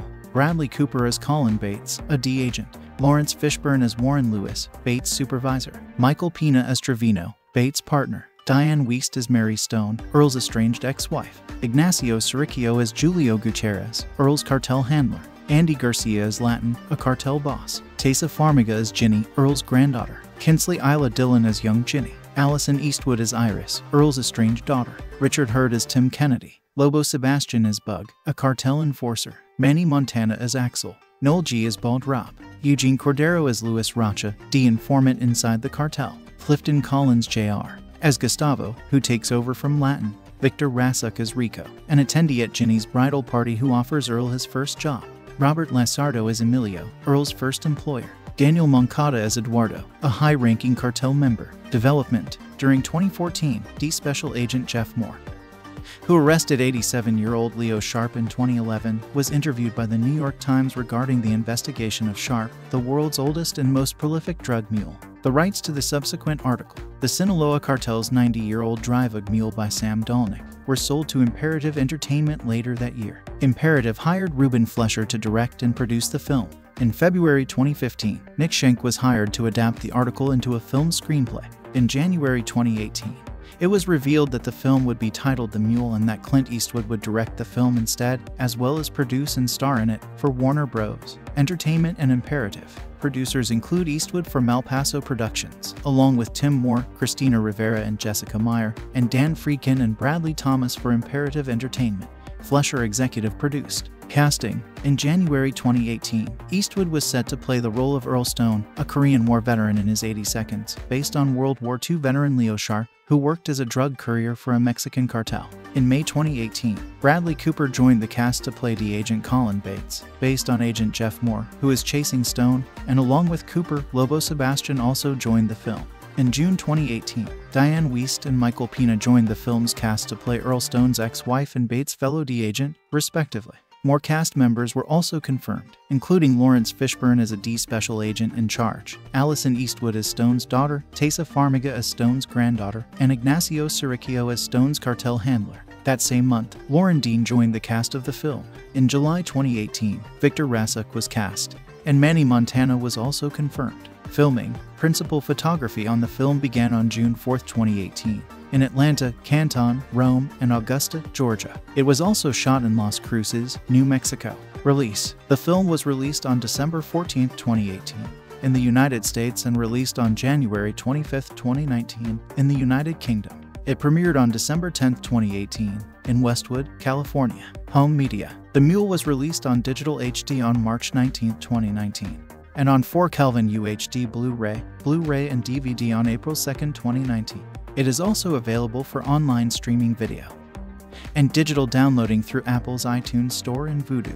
Box office The Mule grossed $103.8 million in the United States and Canada and $69.8 million in other territories, for a total worldwide gross of $173.6 million, against a production budget of $50 million.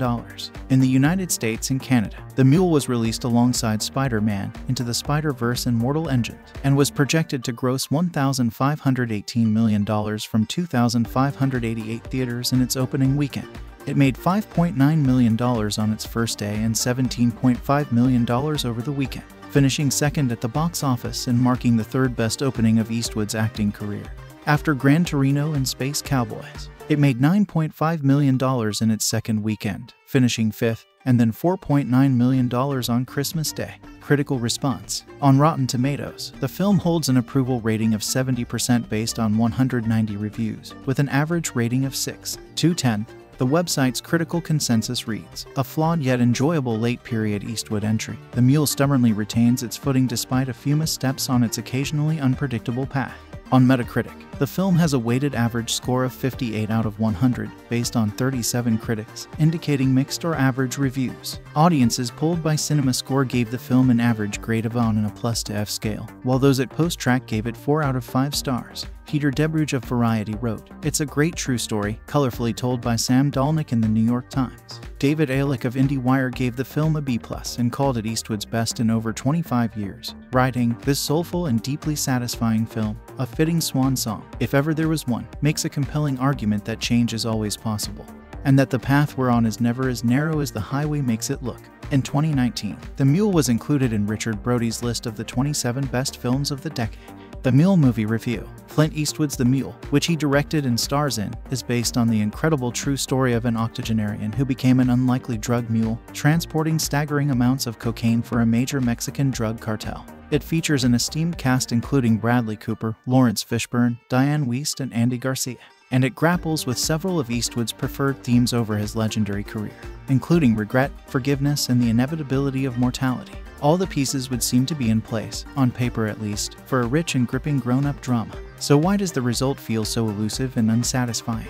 Eastwood's direction is elegant and efficient, as ever, but the script from Nick Schenk, based on a New York Times Magazine article by Sam Dolnick, doesn't give its gifted actors much to work with, and that includes the icon at the film's center. Eastwood's Earl Stone remains a frustrating enigma, despite being the film's driving force. Could he truly be so naive at the start as not to know what he's agreeing to carry in the back of his pickup truck?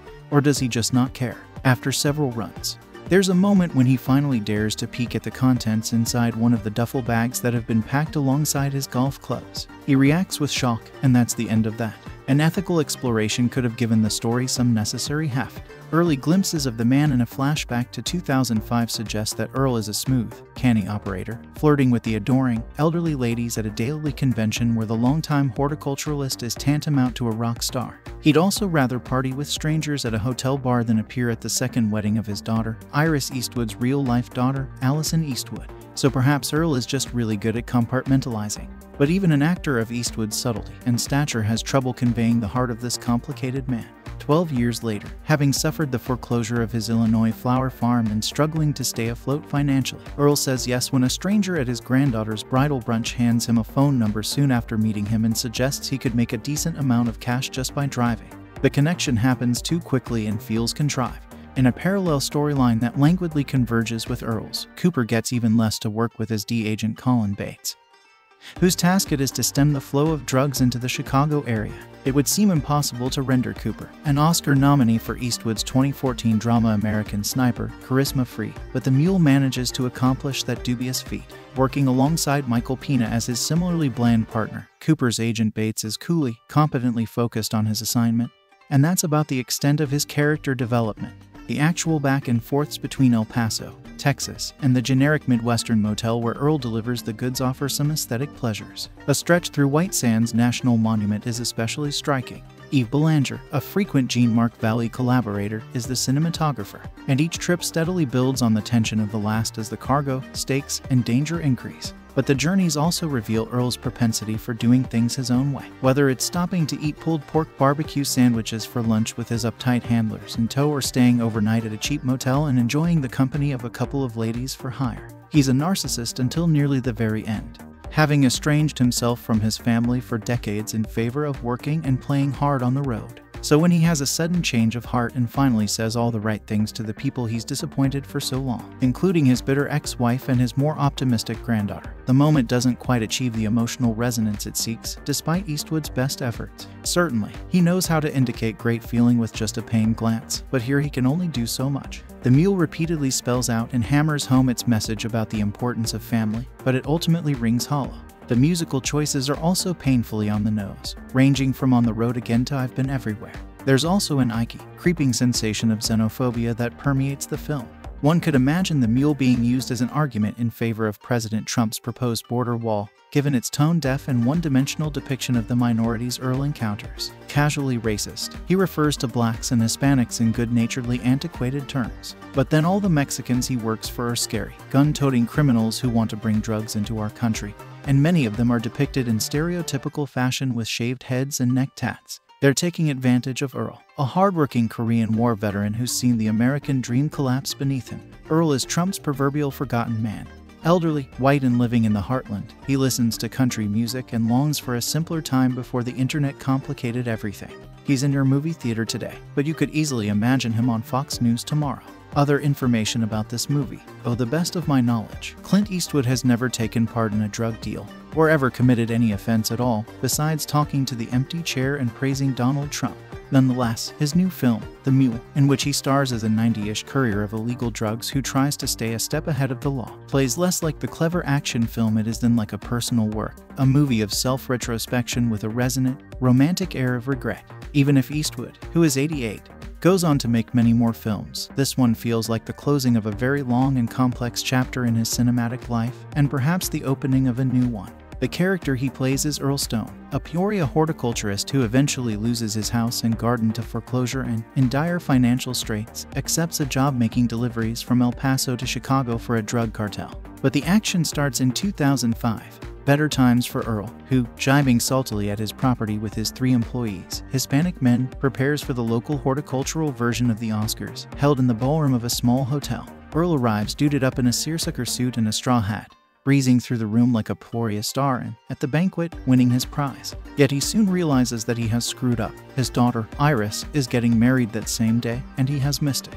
His ex wife, Mary, tells Iris, Your father always chose work over family lest anyone miss Eastwood's self implication in this aspect of the story, which proves to be the movie's central through line. The role of Iris is played by Allison Eastwood, one of the filmmaker's own daughters, a symbolically resonant coup of casting worthy of Godard and Cassavetes. Cut to 2017. Earl, long dismissive of the internet, is losing his house and garden to foreclosure. He pays off his three employees, packs his things in his beat up pickup truck, and shows up at the pre wedding brunch of Iris's daughter, Ginny, who is now grown, where he turns out to be persona non grata. Iris hasn't talked to him since 2005, and he is welching on his promise to pay for Ginny's wedding.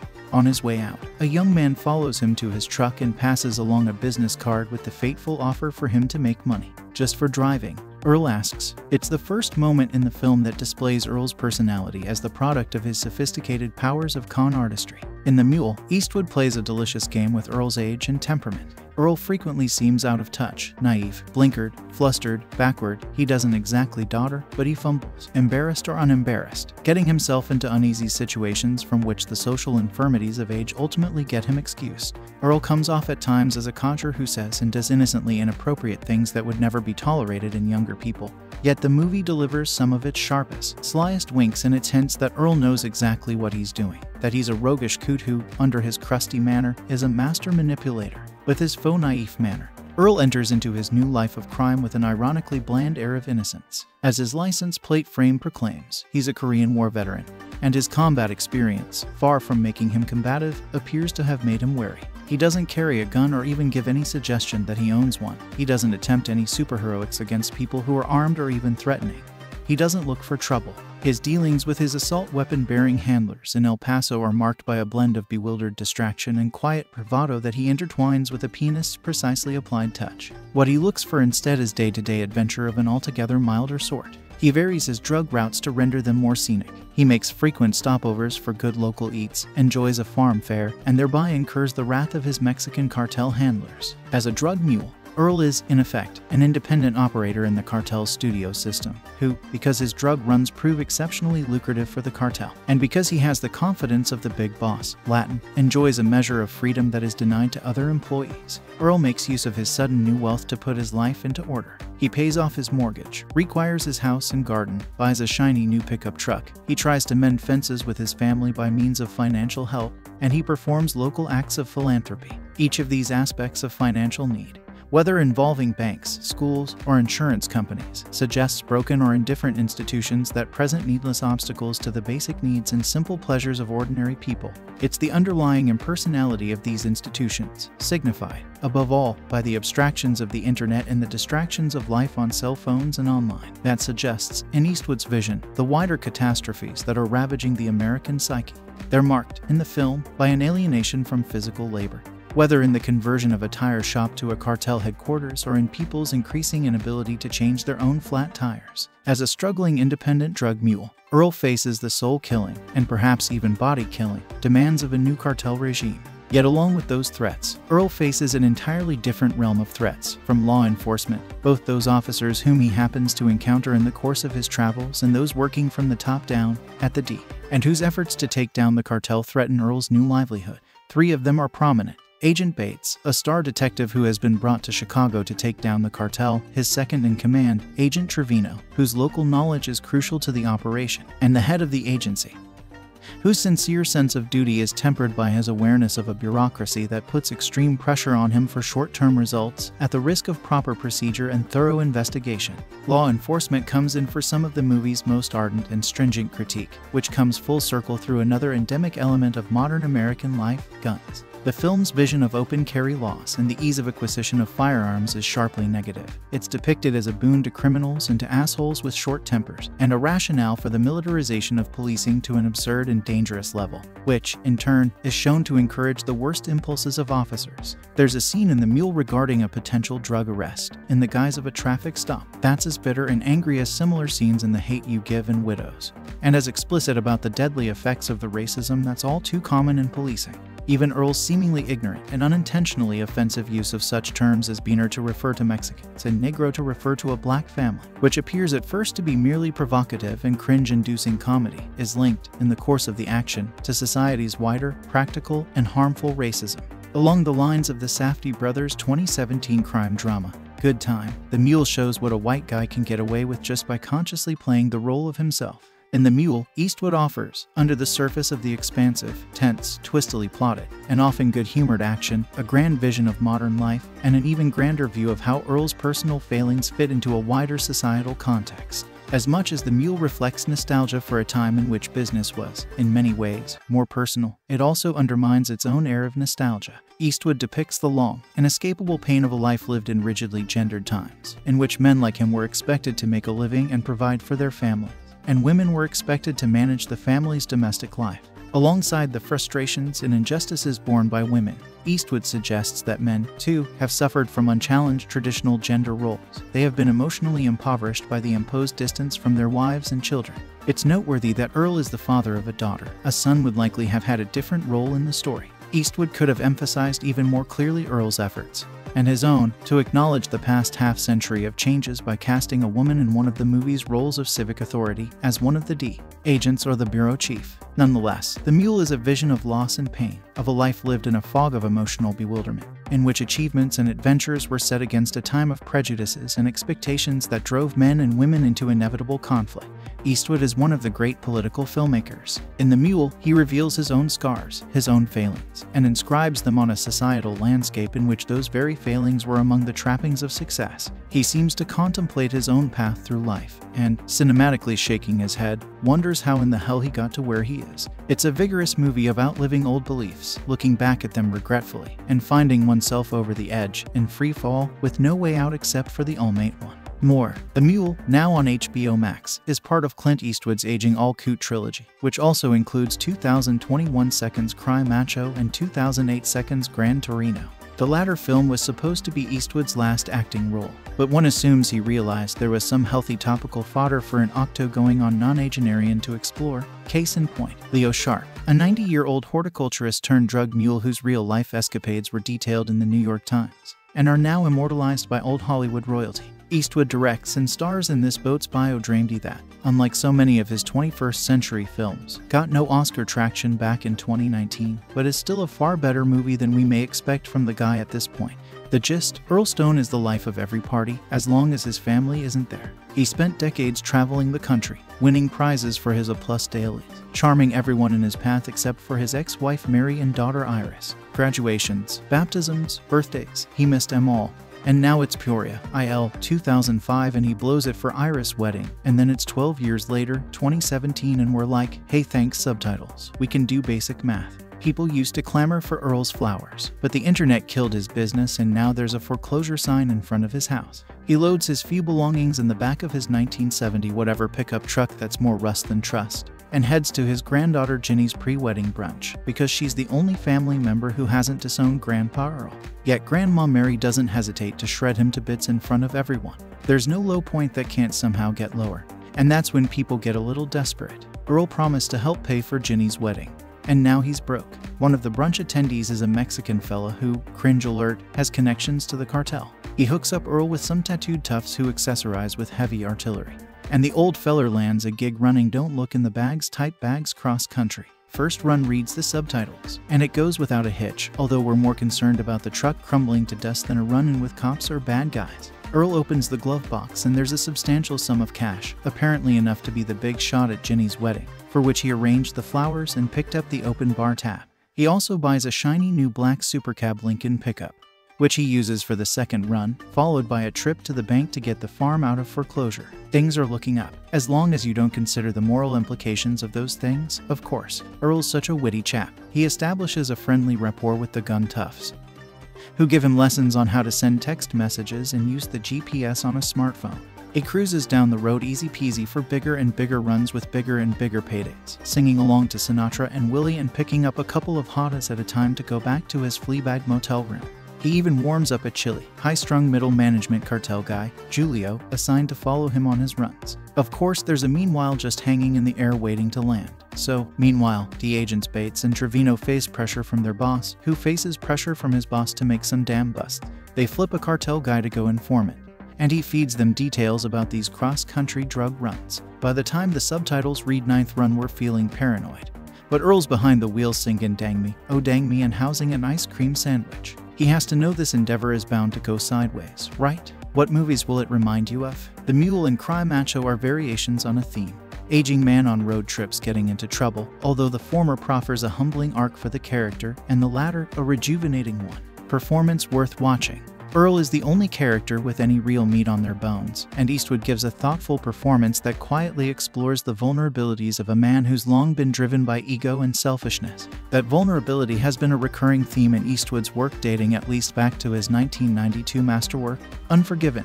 Memorable dialogue. When Julio, his partner, and Earl sit down to eat at a roadside BBQ joint heavily patronized by Caucasians, it's hard not to wonder if Eastwood's putting dialogue like this in the film to reflect the authenticity of old coot characters who don't know any better, or to winkingly provoke his critics into getting mad at him. Sex and skin, topless women at a bangin' cartel party, leering lingering shots of said women's booties at said party. Partake. The Mule is a meandering, entertaining, maddening, highly watchable Eastwood effort, and it's pretty good, surprisingly so. Although maybe not so surprising, considering how he's long been a master of clean, concise storytelling, even if his work has been mostly forgettable post Gran Torino.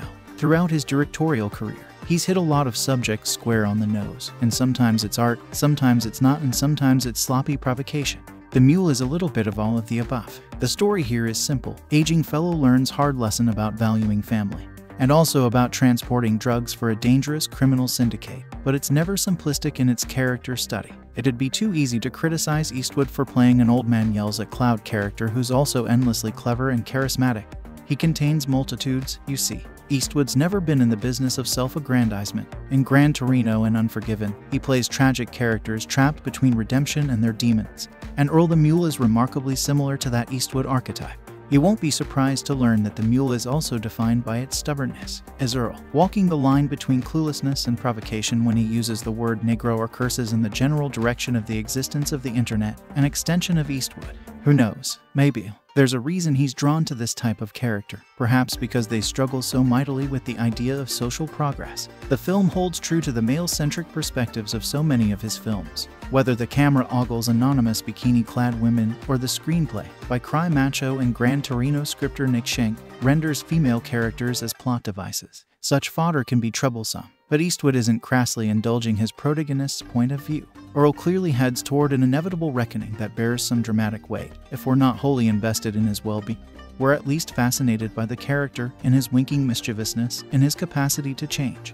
The conclusion Eastwood and Schenk reach is disappointingly soft, sappy, and plaintive, engineered for maximum mawkishness. Cut away the fat, though, and the sentiment rings true, true enough to make Earl's story worth experiencing. Our call. The Mule is a typically prickly Neo Eastwood effort. Funny, messy, complicated, and admirably stripped down. Those who Eastwood rubs the wrong way can move on. Otherwise, stream it for one of his better movies in recent years. This movie directed by Clint Eastwood, screenplay by Nick Schenk, based on the Sinaloa Cartel's 90-year-old Drive a Mule by Sam Dolnick, produced by Clint Eastwood, Dan Friedkin, Jessica Meier, Tim Moore, Christina Rivera, Bradley Thomas, starring Clint Eastwood, Bradley Cooper, Laurence Fishburne, Michael Pena, Dianne Wiest, Andy Garcia, cinematography, Yves Belanger, edited by Joel Cox, music by Arturo Sandoval, production companies, Imperative Entertainment, Bron Creative, Malpaso Productions, distributed by Warner Bros. Pictures, release dates, December 10, 2018 Regency Village Theater, December 14, 2018 United States, running time, 116 minutes, country, United States. Language English. Budget $50 million. Box office $174.8 million. So, guys, this is the review of the Mule movie and some information about it. How do you like our today's video? Please let us know by commenting, and if you like this video, please like it, share it, and don't forget